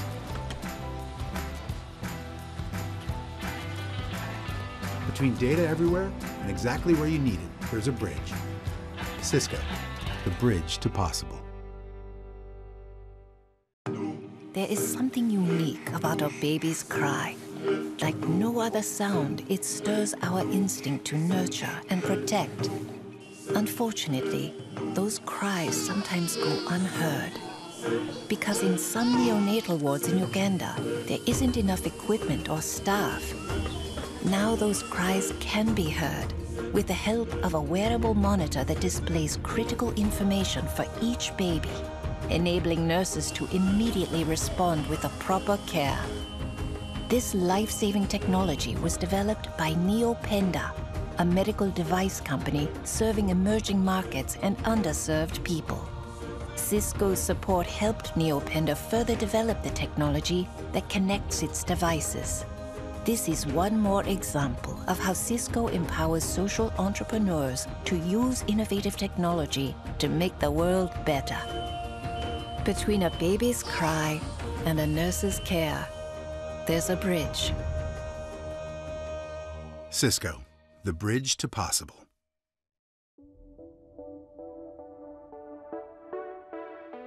The Ellen Show is the number one daytime talk show in America. By far, the biggest thing we do all year is our Mother's Day event. It's so much fun, and our fans just love it. We spend a lot of time aligning the show with brands that want to be a part of the Ellen experience. Hey guys. Hey New York. Hi. There were a bunch of moms to be all over the country who tried to get tickets, but they could not get tickets. We're usually working on a really tight schedule. The faster we can launch or join meetings, the better. Hi. I am going to use Cisco video technology to surprise them. I don't want to surprise the baby out of you, but surprise! Some of us are in LA, some of us are in New York. There's an enormous amount of collaboration that goes on between us. And it really doesn't matter if we're on a laptop in our office or on the lot. We're back, and so far, no one in the audience has gone into labor. Well, we're just getting started. Because we don't always have things nailed down until the last minute, communication becomes a really big deal. Being able to share, tweak, and review Microsoft Office documents within WebEx teams and actually see those changes as they're being made, that's huge. We do hundreds of integrations every year, so we've gotten to the point where if we weren't using WebEx Teams, it would just slow the whole process down. With Cisco WebEx Teams, we know this is going to be the best Mother's Day show ever. Between teamwork and the biggest show of the year, Be kind to one another. Happy Mother's Day! there's a bridge. Cisco, the bridge to possible. Every day, every night, everywhere. People are living on the streets. We see it. We all know it's a problem. But what can we do?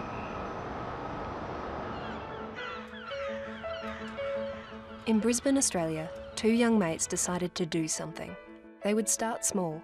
They decided not to call them homeless. They would call them friends. Then, they outfitted a van with a washer, dryer, and a shower and hit the streets of Brisbane to wash their friends' clothes. Orange Sky was born. One van quickly became two, then four, then 20. The operation, staff, logistics needed to scale and quickly. So Orange Sky found a partner. Cisco tailored a Meraki network that can grow as they grow.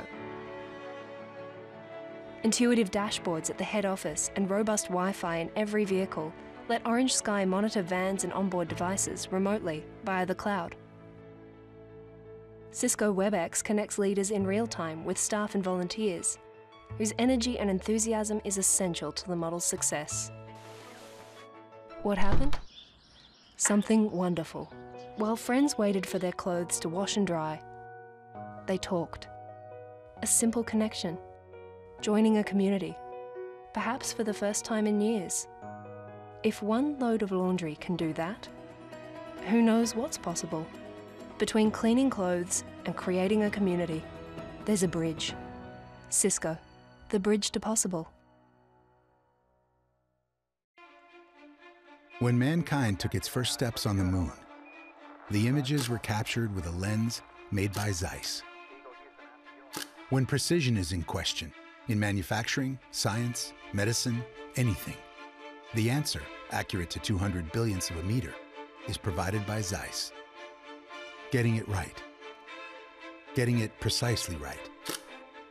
For nearly two centuries, Zeiss has set the standard for industrial precision and optic excellence. Looking forward, looking further, and innovating to get there. Now, technology is pushing us faster than ever toward a more connected world. Can Zeiss lead the way?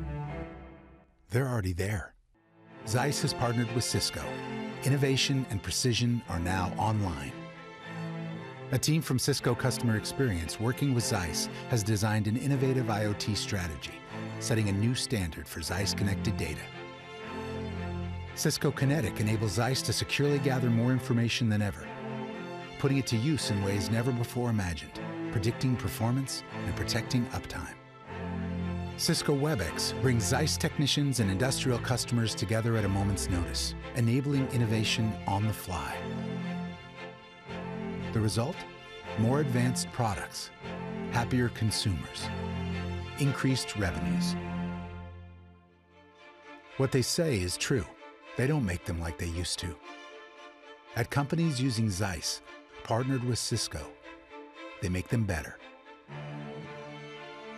Between precision and the pace of business, there's a bridge. Cisco, the bridge to possible.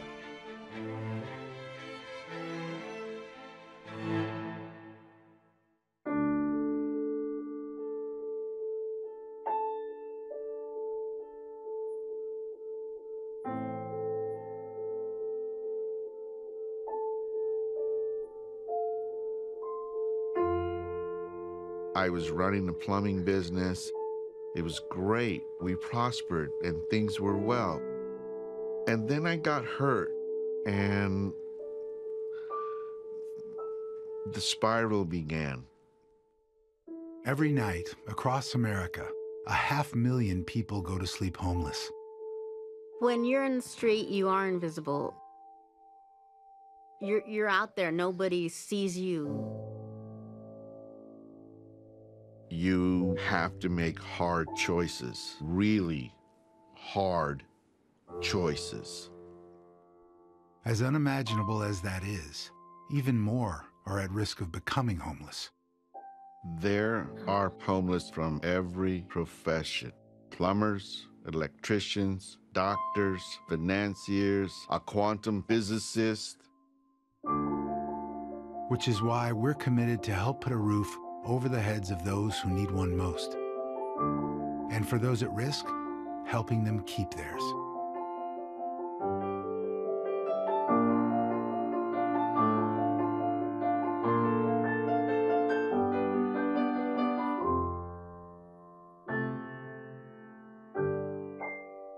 With all the homeless people out there, we were chosen for an apartment.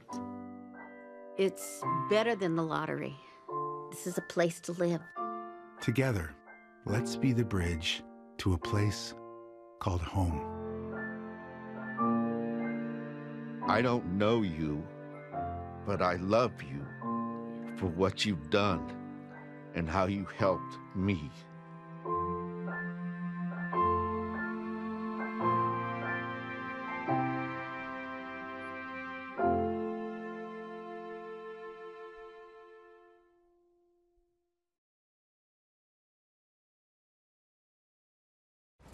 Technology.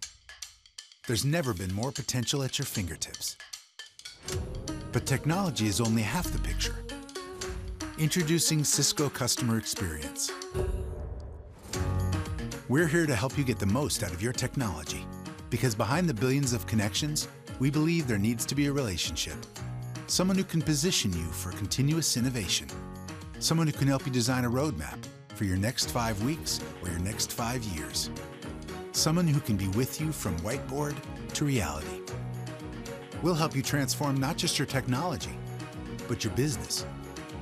We understand that your customers expect a lot of you, and we're here to help you deliver. Innovating, creating, delivering, transforming with the right people and the right technology together. This is Cisco Customer Experience. Between technology and where it can take you, there's a bridge. Cisco, the bridge to possible.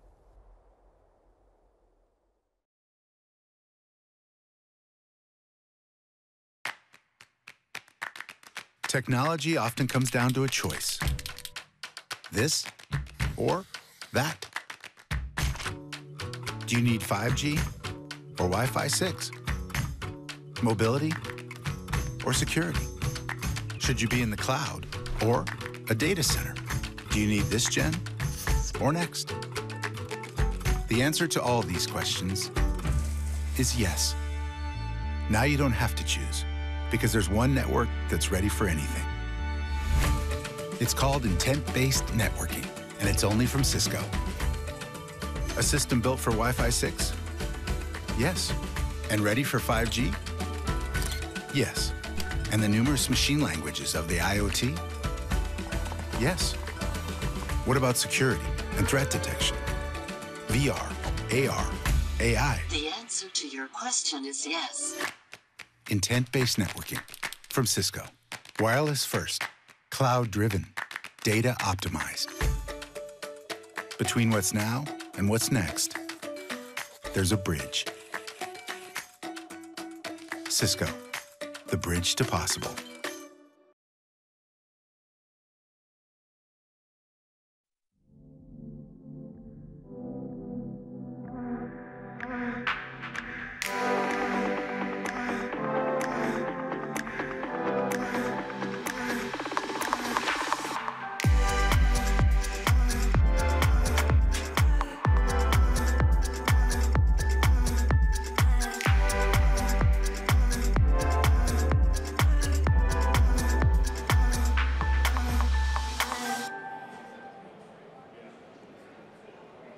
Afternoon. From beautiful Barcelona, we are talking today about Cisco Data Center Anywhere.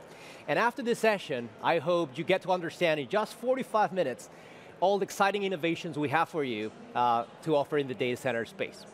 With that being said, let's get started. We have a lot to cover today. The very first thing you need to keep in mind is we live in an IT-hungry world. Everything we do is driven by applications. We touch around three to 10 applications every single day of our lives. And basically, everything needs to be fast. We want things as fast as possible. We're less patient, patient, than, patient than ever. The other part is we want things to be easy. Whether we consume them or manage them, it needs to be easier as ever. And last part, it always needs to be on.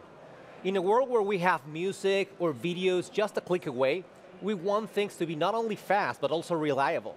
So the same thing, by the way, happens today in an IT-hungry world, which may be, you know, delivered by the CIO or, you, or yourself as an IT lead. If we consider everything we do to deliver these applications, we have to go from infrastructure, again, no matter where it lives, it can be on-prem, cloud, virtual, physical, containers, all the way to applications, which may be not only delivered with a single click, but also continuously monitored, continuously managed, and again, hopefully optimized as well. And the last part, we always want this business to be on. The new digital business needs to be reliable and always, need, and always needs to be secure.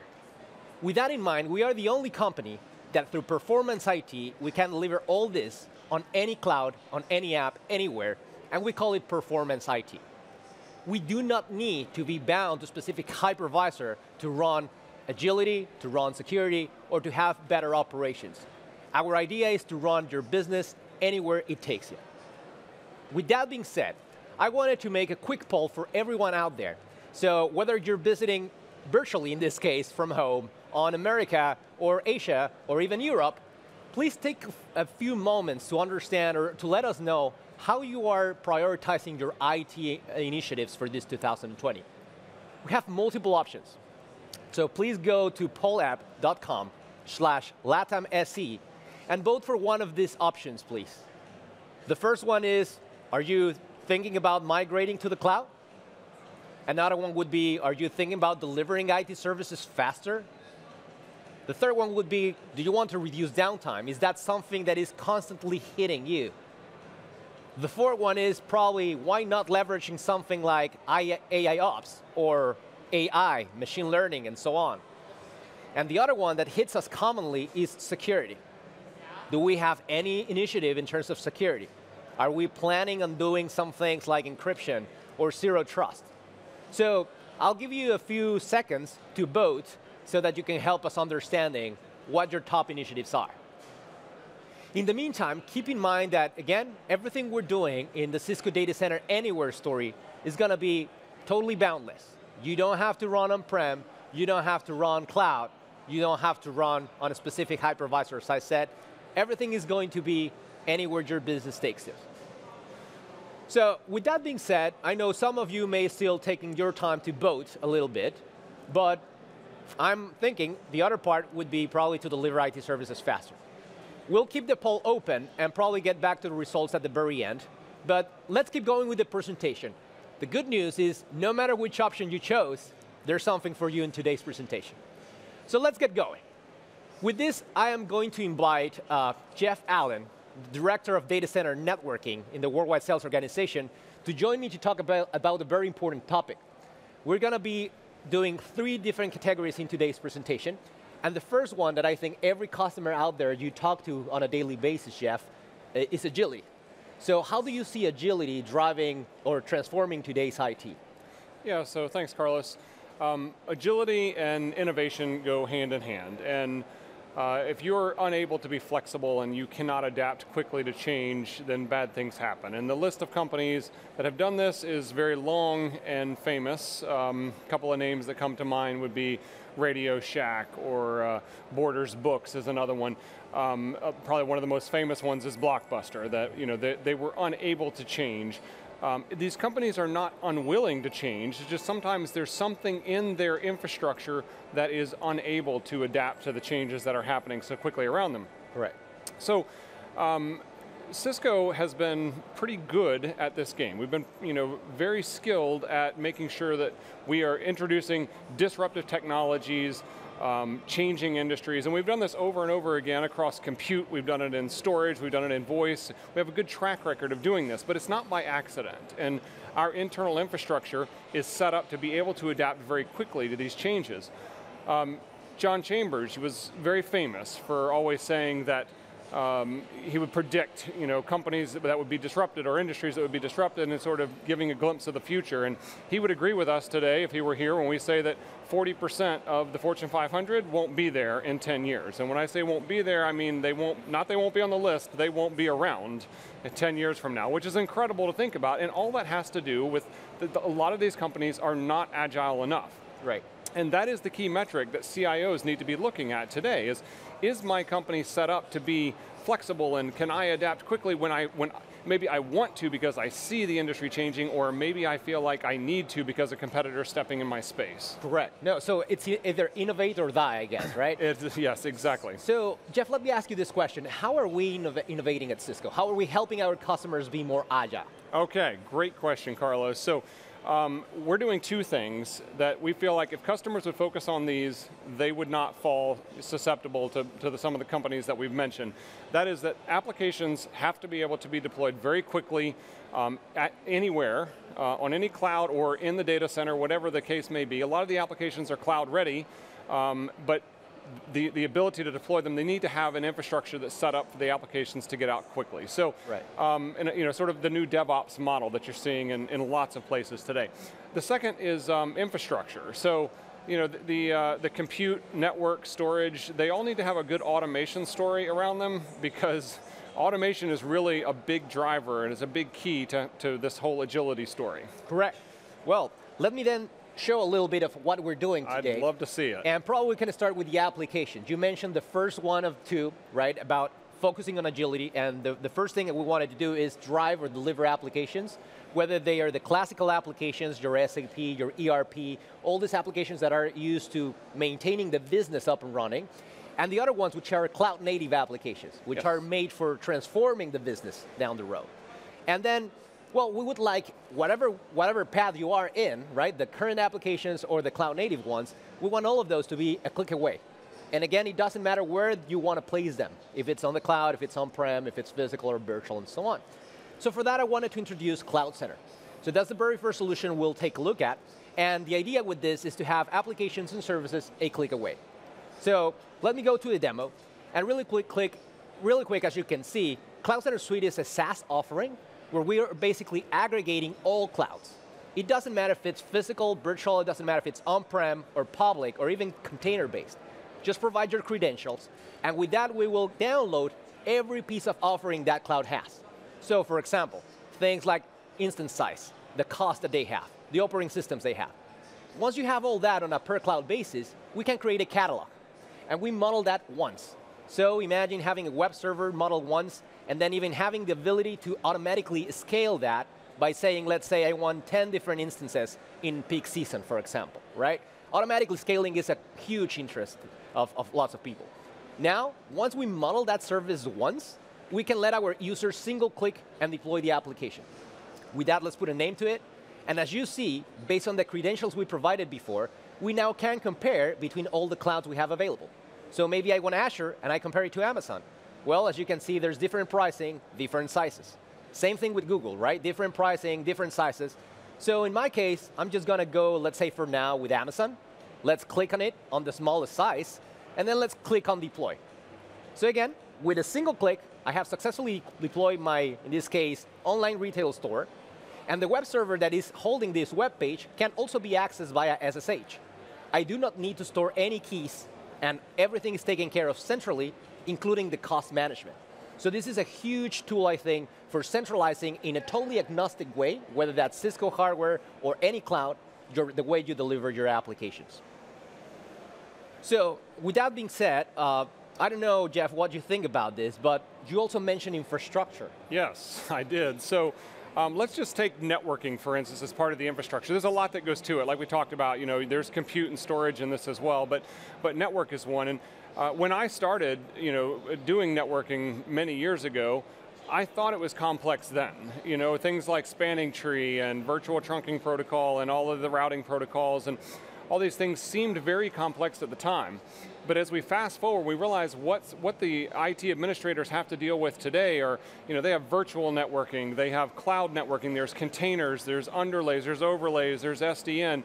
Um, in fact, uh, you know, virtual networking is a big part of this, and cloud networking is is uh, the CSR 1000. By the way, I, I read that that's the most uh, popular download off Yeah. of Amazon's Oh, yeah. marketplace, right? So, this is truly important to people. This is a big deal. So, this is. Um, if, if these things can't be, if we can't put all these in a wrapper that makes them easy to manage, um, then that's a losing battle for that network administrator or that IT department, especially because you know different groups are sometimes responsible for these different components, right? And you know some of the things we mentioned, like cloud, that's a different handled by a different group. So we need something that brings all that together. Correct. So if I hear well and multiple personas managing multiple things, probably not consistently, right? So how have you seen the evolution of the network? So we used to do this switch by switch, port by port um, troubleshooting, and you know we would SSH into switch one, uh, we would make a change, and then we'd SSH into switch two. But while I'm configuring switch two, I took a phone call, and I forgot to put in one command. So now I'm, I have some inconsistency in the network, and I don't know that it's there. There's nothing that goes back and checks that for me. Right. Um, that's the type of thing that cannot happen when we're automating configurations. Everything has to be consistent. Correct. So, well, that's that's extremely relevant. So let me show you a little bit of what you're talking about with ACI. Excellent. So in this case, we're seeing ACI multi-site orchestrator. You have a central point of management for all your networking sites based on ACI, whether they are on-prem or cloud-based. Just by having this, you have automated data center interconnect, by the way. So even extending layer two is just a matter of minutes or seconds by having ACI, which is extremely useful in this case, considering it's a VXLAN configuration. The second part, now we move on the site level. Now, every time you add a new switch, usually takes a long time, right? You rack, you configure the out-of-band management network, you have to configure lots of things. Here with ACI, we automatically discover every single switch you have. So the nice part with this is you have to put a name, a number, or an ID to it, and, do, and then you're done. As you can see in the demo that we're showing right now, not only VXLAN gets configured, the IP address, obviously the name and the automatic discovery of new switches is done exactly the same way. So it's only three clicks every time you add a new switch. The other part is very complicated things like BGP and VXLAN with MP-BGP. Well, you just put an atomic system a number and you're done, right? Other things like DNS or NTP, things like, as you said, you were configuring on a per switch basis, probably configuring it one switch, and the next one you would not configure it consistently. Well, you just have to do it once. Same thing with best practices. We have simplified quite a lot the model so that the wizard does everything for you. The other part is not only you're centralizing all the management and the monitoring for all your physical switches, as we can see right now. As you can see in the diagram, we see the APICs, the control points, the spines, and leaves. But also, every port is now centrally managed. You can see if it's red, if it's green, if it's yellow. Everything is centrally managed, as I said. The other part is we didn't stop at the physical network. We wanted you to, to see things like virtual networks. You mentioned Microsoft like Hyper-V or VMware or Red Hat or OpenStack. Well, we need to see that virtual network connectivity and how healthy that is been performing. And the last but not least part is containers. We said we might be moving to cloud native. So again, all the way to the containers, if you have Kubernetes or Cloud Foundry or OpenShift, we will make sure that you see all the way to that specific portion of the network. So again, we're trying to cover the whole thing, again, from a single pane of glass in terms of network. So this is pretty awesome. If I had, uh, if I had both of these products, you know, one to control my applications, another one that can control my infrastructure. If I'm a company like Netflix, I'm not going to be disrupted. Um, I, you know, clearly these things would help me stay ahead in the game. So At least the network won't be the one to blame for slow. exactly, yes. Exactly. So, Jeff, I want to ask you another thing. There's another piece of equation, which is compute and storage. Yeah. So how have you seen that evolve? So um, we announced UCS 10 years ago, almost 11 years ago, um, a, a, product that you know revolutionized the way the server management was done. Um, customers loved it. It was uh, it was received very well, and it sold very well. Still sells very well today. We introduced a lot of new products along the way, and some of those were backup servers. We did rack servers after we did blade servers, and uh, and then we did storage servers with with um, HyperFlex after that. And so there was uh, there was a definite um, need to bring all of this into a common management platform, and UCS was good at that. But what we needed was something if I had multiple sites that made this very easy to manage. And um, we did an acquisition uh, after UCS of Meraki, and, um, and that led us to some ideas, some things that we could do much better than the way UCS was doing them currently, you know, kind of a site-by-site -site basis, so. Right, right. And then I think this also evolved, right? I guess we took some other models. What have you seen that we can do to help our customers then? Yeah, so um, it, by introducing Cisco Intersight, this gives us now a cloud-based management platform that all of my servers can log, in, log into. I believe we have 460,000 um, you know, current users on the platform today, which is just unbelievable. So, um, and uh, it, it is very much a Meraki. In fact, we have this term where we call it Merakified, that we have sort of Merakified what UCS does, Correct. and uh, you know, kind of a a cool term for it. Well, that's great. And the best thing, just to start using it, is for free, right? It's free. Yes. So, awesome. well, why don't I show you a little bit of how this actually looks like? I'd love to see it. Yep. So let's log into Intersight. Let's take a look at it. And the very first thing is that we have the central dashboard where we can even see things like power consumption, right? All inventory of every server you have. So we can start probably with things like rack servers. We can see things, for example, like graphical representation of every component of every server we have. So for example, in this case, we can see if the disks are fine, if there's an alarm, if there's something I should be concerned about. Again, everything from a central point of view, right? So this is extremely important. The other part is that you get also visibility for blade servers as well, and hyper-converged ones. So we get predictive analysis how, how soon you're going to run out of a storage, and not only that, but you're also going to be able to install everything, in this case with HyperFlex, whether that's edge or data center versions, directly from the cloud. So again, extremely huge in ter terms of automation. The other part is the devices, right? Not only can you do servers, the traditional ones, now we also support other things like APICs from ACI, or integration with UCS Director, which may be a tool for automation that some customers are doing.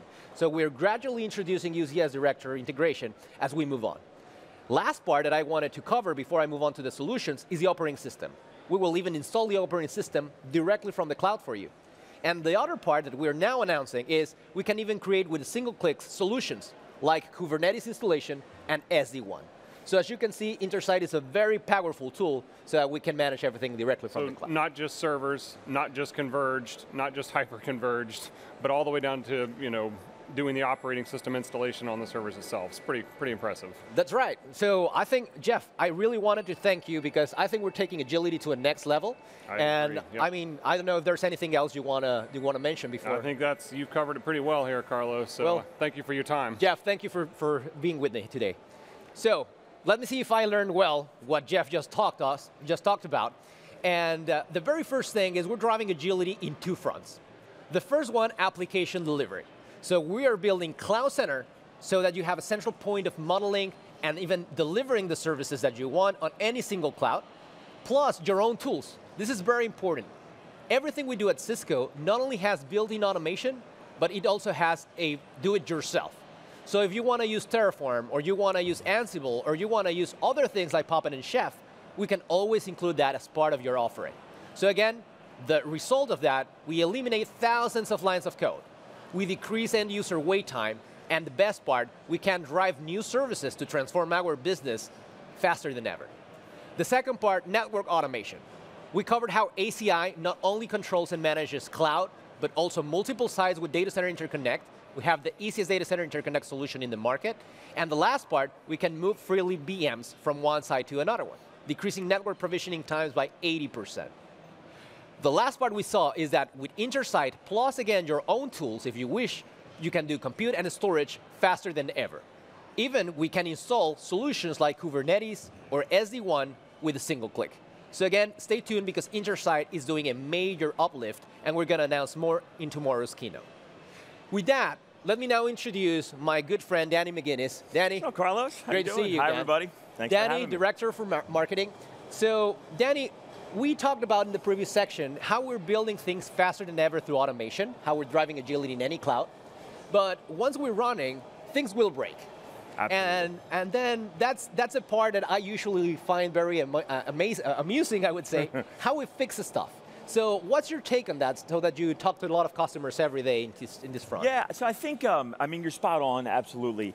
Um, you know, we always come down to this kind of this blame game in networking, right? Especially, I mean, I lived on the customer side for many, many years, and a big part of my day was, um, you know, that troubleshooting and trying to find out, especially doing root cause analysis, like looking backwards and saying, hey, why did something happen, right? Or what caused this problem? And, and really trying to find out why it went wrong to avoid it happening again, right? So that root cause analysis piece is kind of, is very difficult. Right.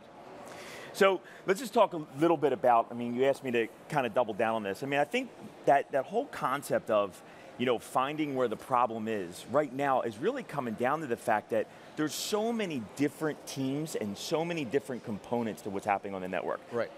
When I was, you know, 10, 15 years ago, a lot of these things were done in silos, right? You kind of, you built, the, you built the servers, you built the switches, you plugged the server in, it didn't move. Now things are dynamic. They're all over. They're moving out to a cloud. They're coming back applications are just the way, the pace at which they turn up has changed so dramatically.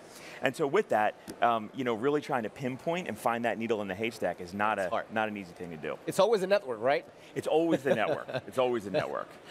So anyway, I think um, you know a big part of where we're going at Cisco is obviously the innovation in the hardware and the infrastructure is a big component, but the the, the solutions on top and the applications that have been that we've been developing um, to really take there's really two aspects to it.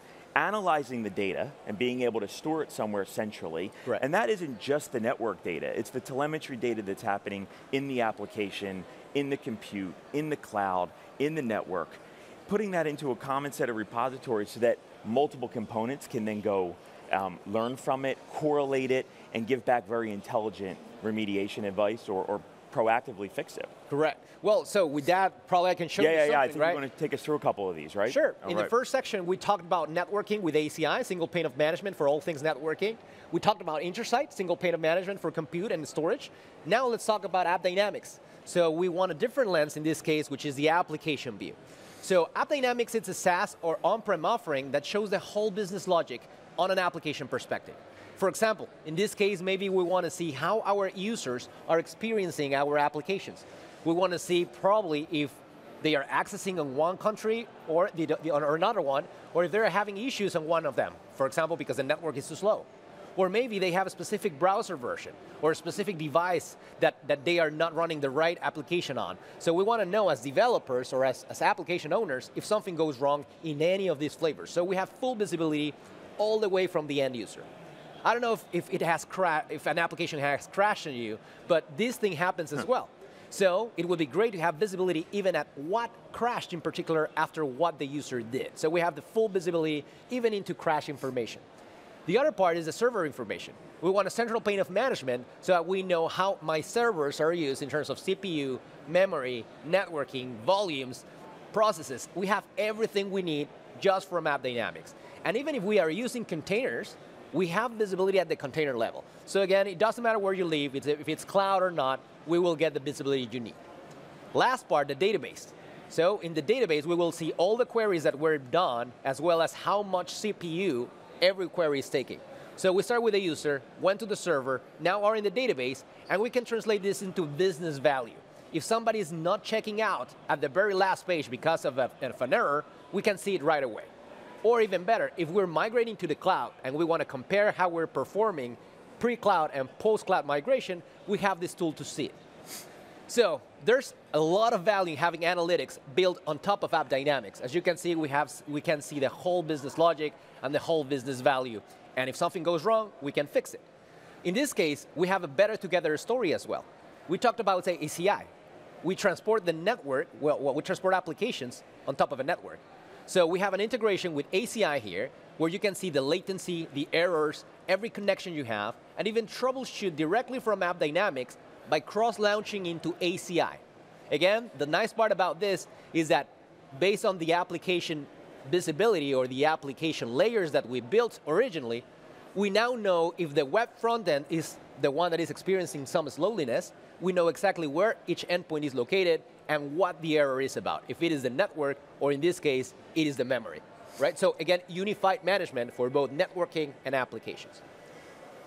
So I don't know how did you did you like that part, the AppDynamics part? I, I do, and I'll tell you, whenever I talk to customers about this, the feedback we get is just that extra level of visibility. You know, that having that data and being able to do that level of correlation is amazing. I mean, it's such a time-saving thing. I, I don't even know how how you can operate a network without some of that, frankly, totally. anymore. Yeah.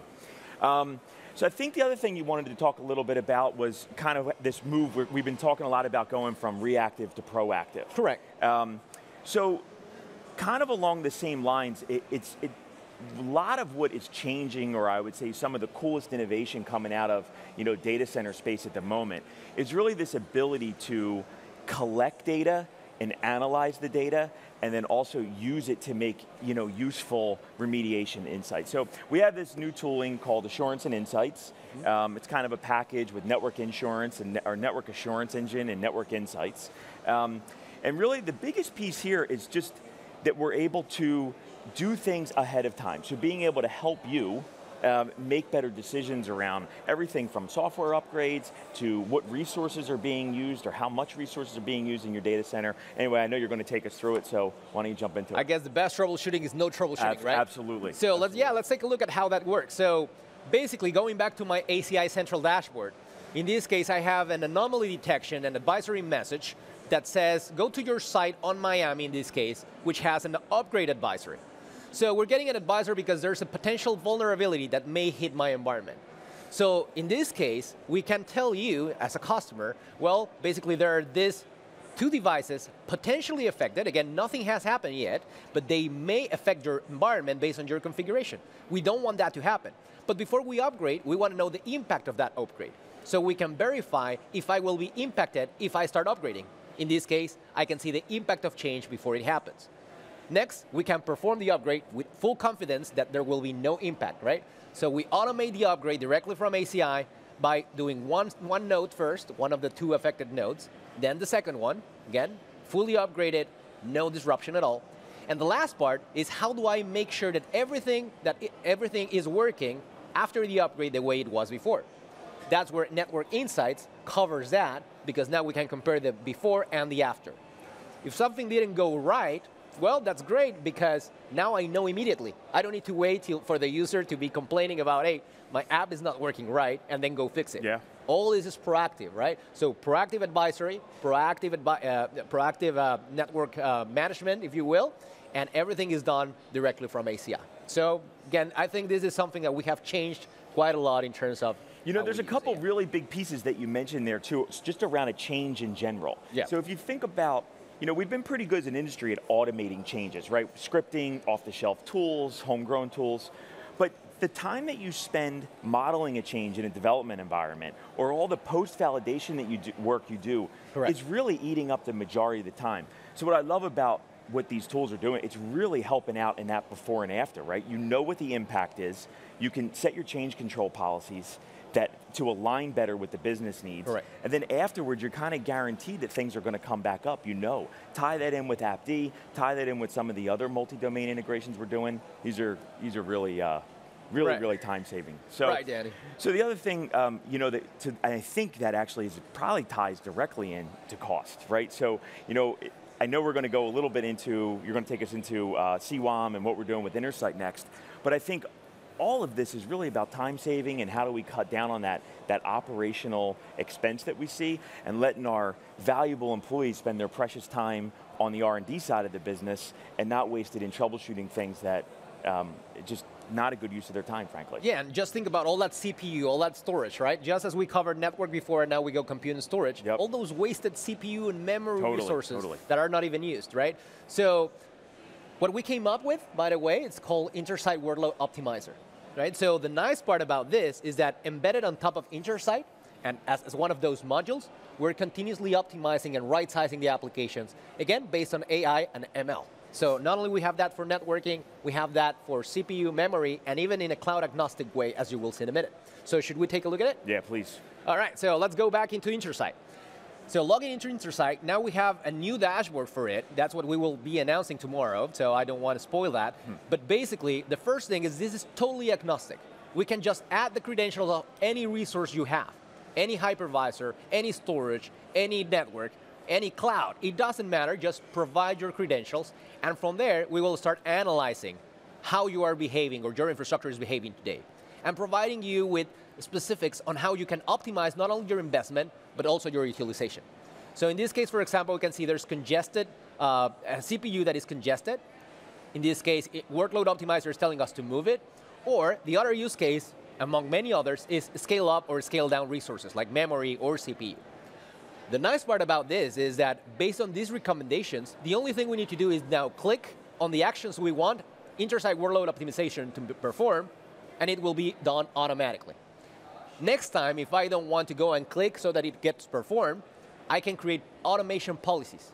So I can say, Intersight, next time you want me to move a load because of congestion, just do it automatically. I don't want you to tell me so that I go and click and then perform the, the action. The other part that is quite interesting, Danny, is we do predictive analysis on your resources. So again, doesn't matter if it's on-prem, doesn't matter if it's on cloud, we will tell you how much more you have till you exhaust your resources and even how much more investment you may need at some point. Another one that our customers have quite a lot is cloud migration. We can tell Intersight in this case, hey, just move all my VMs to Amazon. How would it look like? Well, basically today, some of our customers try to perform the same analysis, and most of them underutilize or overutilize resources. So if they purchase the same amount of resources at the cloud or on the cloud, that would cost in this case around $22,000. 93 out of that 109 machines are over provisioned. We will make sure you always run with the right resources you need. Not only that, but we will also tell you where to place them, what the best possible location, how much it will cost, and then also the actions you need to perform in order to move and migrate those load to the cloud. So again, this is extremely good because this is ongoing. This is not a one-time thing. Yeah. We will always continuously be optimizing things. You remember AppDynamics, right? So the other part is how my infrastructure is impacting my business. And well, a better together story with Cisco comes whenever Workload Optimizer plus AppDynamics build up. And we can, for example, in this case, detect a yellow light saying, well, my business KPIs are not being met, and that is because of infrastructure. CWOM detects it, or Intersight Workload Optimizer detects it, and we can execute the action so that in this case, we scale the memory up. After we do those recommendations, well, basically we're having a self-driven data center, right? We can, up, we can refresh the window, and now all of a sudden, everything looks green. So again, everything is greater than before, fully automated, and now we have a proactive operations way of doing things instead of reactive. So Danny, what do you think about that? Any last minute thoughts that you, you have? Yeah, well, I think, I mean, again, we're just, you, you, there's just so much data out there. And having the tools that can collect it and make these insights and, and correlation for you, not only are we saving people money, but we're saving resource money. I mean, that's really what a lot of this is coming down to. And more importantly, I think we're offering our customers the ability to give their customers just a better service, more uptime, more agility, faster time to value, so that they can start to see revenue, be better, be more competitive. So, I mean, these tools are amazing. I, I, I love watching all these innovations come to Excellent. come to light. Tomorrow we will have a keynote and we will have all these great yeah, announcements. absolutely. It's going to be exciting. Hopefully they can join. Tomorrow's well, a good day. Danny, thanks a lot. Thanks, Carlos. Thank you. All right, appreciate it. So let me see what I learned from Danny today. And the very, very first thing is we can monitor everything now. In today's world, it's not a matter of monitoring the network only or monitoring the compute part or the storage part. We have three lenses that are fully integrated with one another, and we can reduce the troubleshooting points for application and infrastructure. Second part, we can optimize your investments. Through Intersight Workload Optimizer, we can see ROI within 90 days or less, and we can increase utilization in 20%. We also saw cloud migration and other things that are extremely useful. And the nice part again, this can live on any cloud, anywhere. It doesn't need to be Cisco gear. The third part, we can enable self-driven data centers, not only with network insights, but also with Intersight Workload, uh, Workload Optimizer. Again, we can automatically right-size your infrastructure, get advisories, get again assessment and change, which may be network or cloud migration, and simulate some of those. So again, really, really useful to leverage AI and ML to the fullest. So with that being said, now let's move to the last section of this, this episode, or this, I wouldn't say episode, I want to say this segment. And uh, well, basically I have here my good friend Andrew Tennant, who's one of the regional managers in data center networking in the Worldwide Sales Organization and partner in crime several times. That's right. So uh, I wanted to bring you in for one of those topics that is always very important and is security, right? So how have you seen security play an important role in today's IT? Well, Carlos, look, it, it, as, as we can see by the folks walking around here at Cisco Live today, right? Security is on everyone's mind. It's absolutely part and parcel of what we do uh, inside and out in every one of our customer conversations.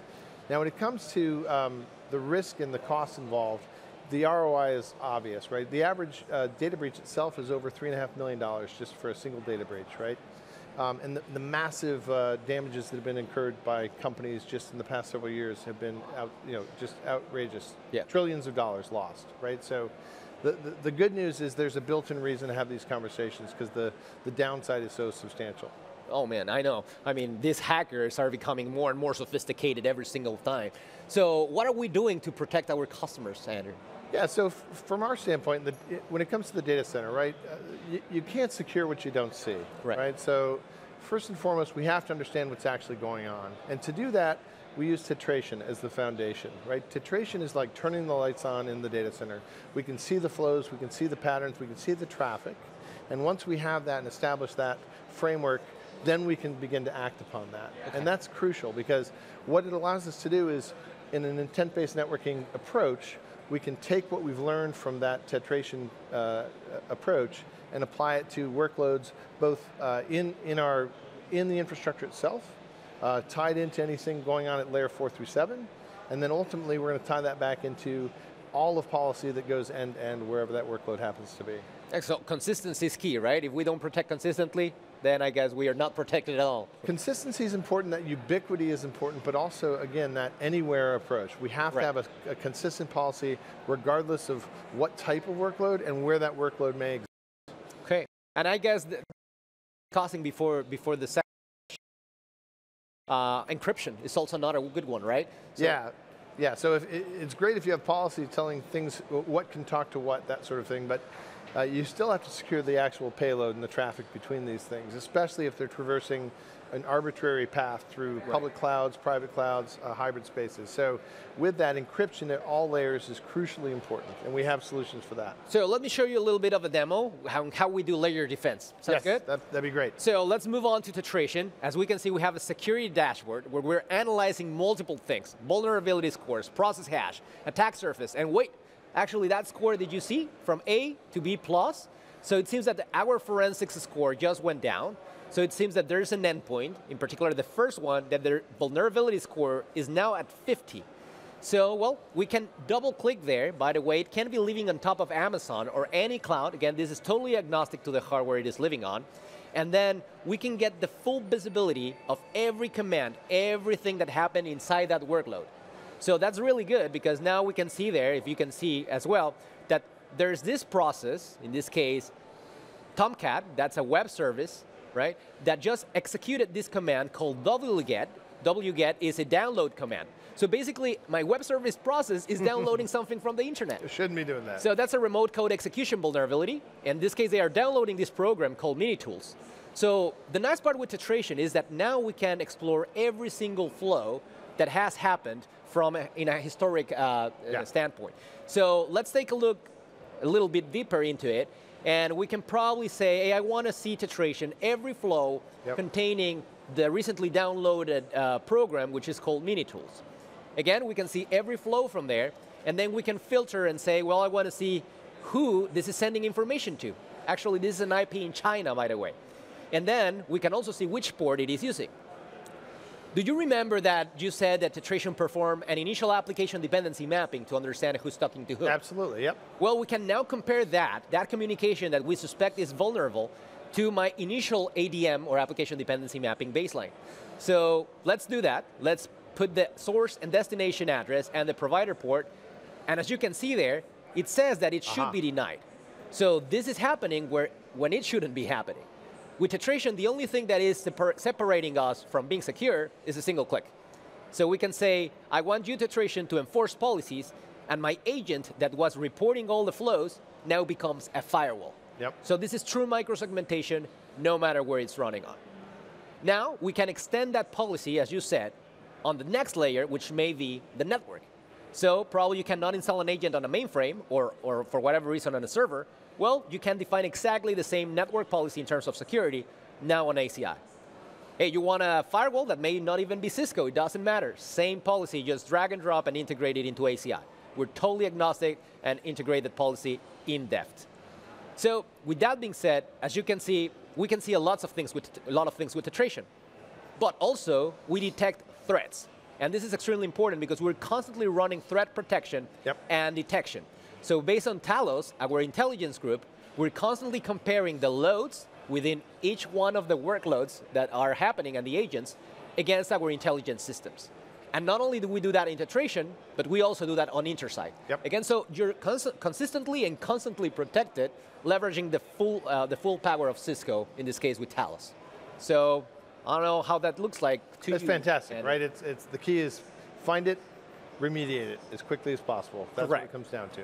Exactly. And leverage the power of the, the broad customer base to be a sensor for your own network. So Correct. you can find something somewhere else, bring that knowledge to bear.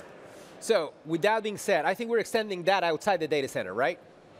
So we're, we're going to bring this to the campus and to the WAN, and making sure the policy is consistent, correct? So Absolutely. again, the policy will go anywhere your applications or users go. And that, what, what's also important, I just want to come back to one thing we talked about. Let's never forget the, the simplicity of encrypting traffic everywhere it traverses, right? Because that's so essential, especially as, as the data lives everywhere today, so do the flows. So whether it's MACsec at the, at the server side, whether it's uh, IPsec out to clouds, whether it's CloudSec itself, right? We need to make sure that we're leveraging our differentiated benefits uh, for our customers' behalf. So it's a, it's a two-way play, if you will, right? Yes. First policy from the data center to the campus using ACI DNA Center, to the WAN using SD-WAN and vManage. And then, as you said, encryption, doesn't matter the cloud, whether that's MACsec or CloudSec at the hardware Exactly. level, or IPsec all the way to the cloud in the CSRs, right? So, well, it seems that we have pretty much a very comprehensive approach, but what if, you remember back at the beginning we talked about CloudCenter? Yes. So what if not only we deliver single-click applications anywhere, but we deliver single clicks, single-click protected and monitored applications anywhere? And that's where CloudCenter plays a role. So anything we deploy, well, we can, with a single click, install AppDynamics agents. So imagine a single click application delivered on any cloud, now it's also instantly provisioned, but also instantly monitored with the power of AppDynamics. And the same thing with security. So for example, again, if you want an application to be uh, Tetration visible, well, just install it with a single click from CloudCenter, and from there, you will have immediate reaction or immediate visibility into it, start doing application dependency mapping and threat protection. So I think we, that gets us to the very end of our presentation. Uh, so Andrew, any last minute thing you want to say? I, I think it's, uh, again, it's not a, a, a feature or a capability, it's, a, it's an approach to how we do everything. Security is foundational to what we do, whether it's in the data center, the campus, the WAN, we have to have a consistent policy approach. Excellent. Thank you, thank you, Andrew. So let's finish up with uh, things that I learned today. The very first thing, you cannot protect what you cannot see. With Tetration, you see every flow, every process, everywhere. The other part is granular visibility, automatically depend, do application dependency Okay, mapping, right. and I didn't want forensic him to be analysis. worried because he didn't know I was going to. Second part is in-depth protection. So we provide not only our workload application and, and uh, protection, which some of our competitors do, by the way, based on a single hypervisor. We can do it for every hypervisor, any container, at the true workload level, which is the operating system. Then, if it doesn't work for you to install an agent, we can go to the network, and then we can go to your layer 4, layer 7 firewall of choice. So again, the true, or the, the option here is to provide consistent zero trust, no matter where it leaves. Last but not least, minimize the threats. So again, we have the full power of Cisco intelligence so that no matter whether you're running Tetration and or Intersight, we will always detect any vulnerability and reduce that time to remediation. So with that, let me take you to my key takeaways for today. By the way, we kept running the poll for a while, and I have to say Deliver IT Services Faster was the one that won. Then migration to the cloud. So I hope this was in line with what you, you all learned today. But my key takeaways for you are one, agility. We need to provide services and we need to provide them fast. So by having built-in automation plus do-it-yourself automation will help you quite a lot in any journey you have. Two, see everything anywhere.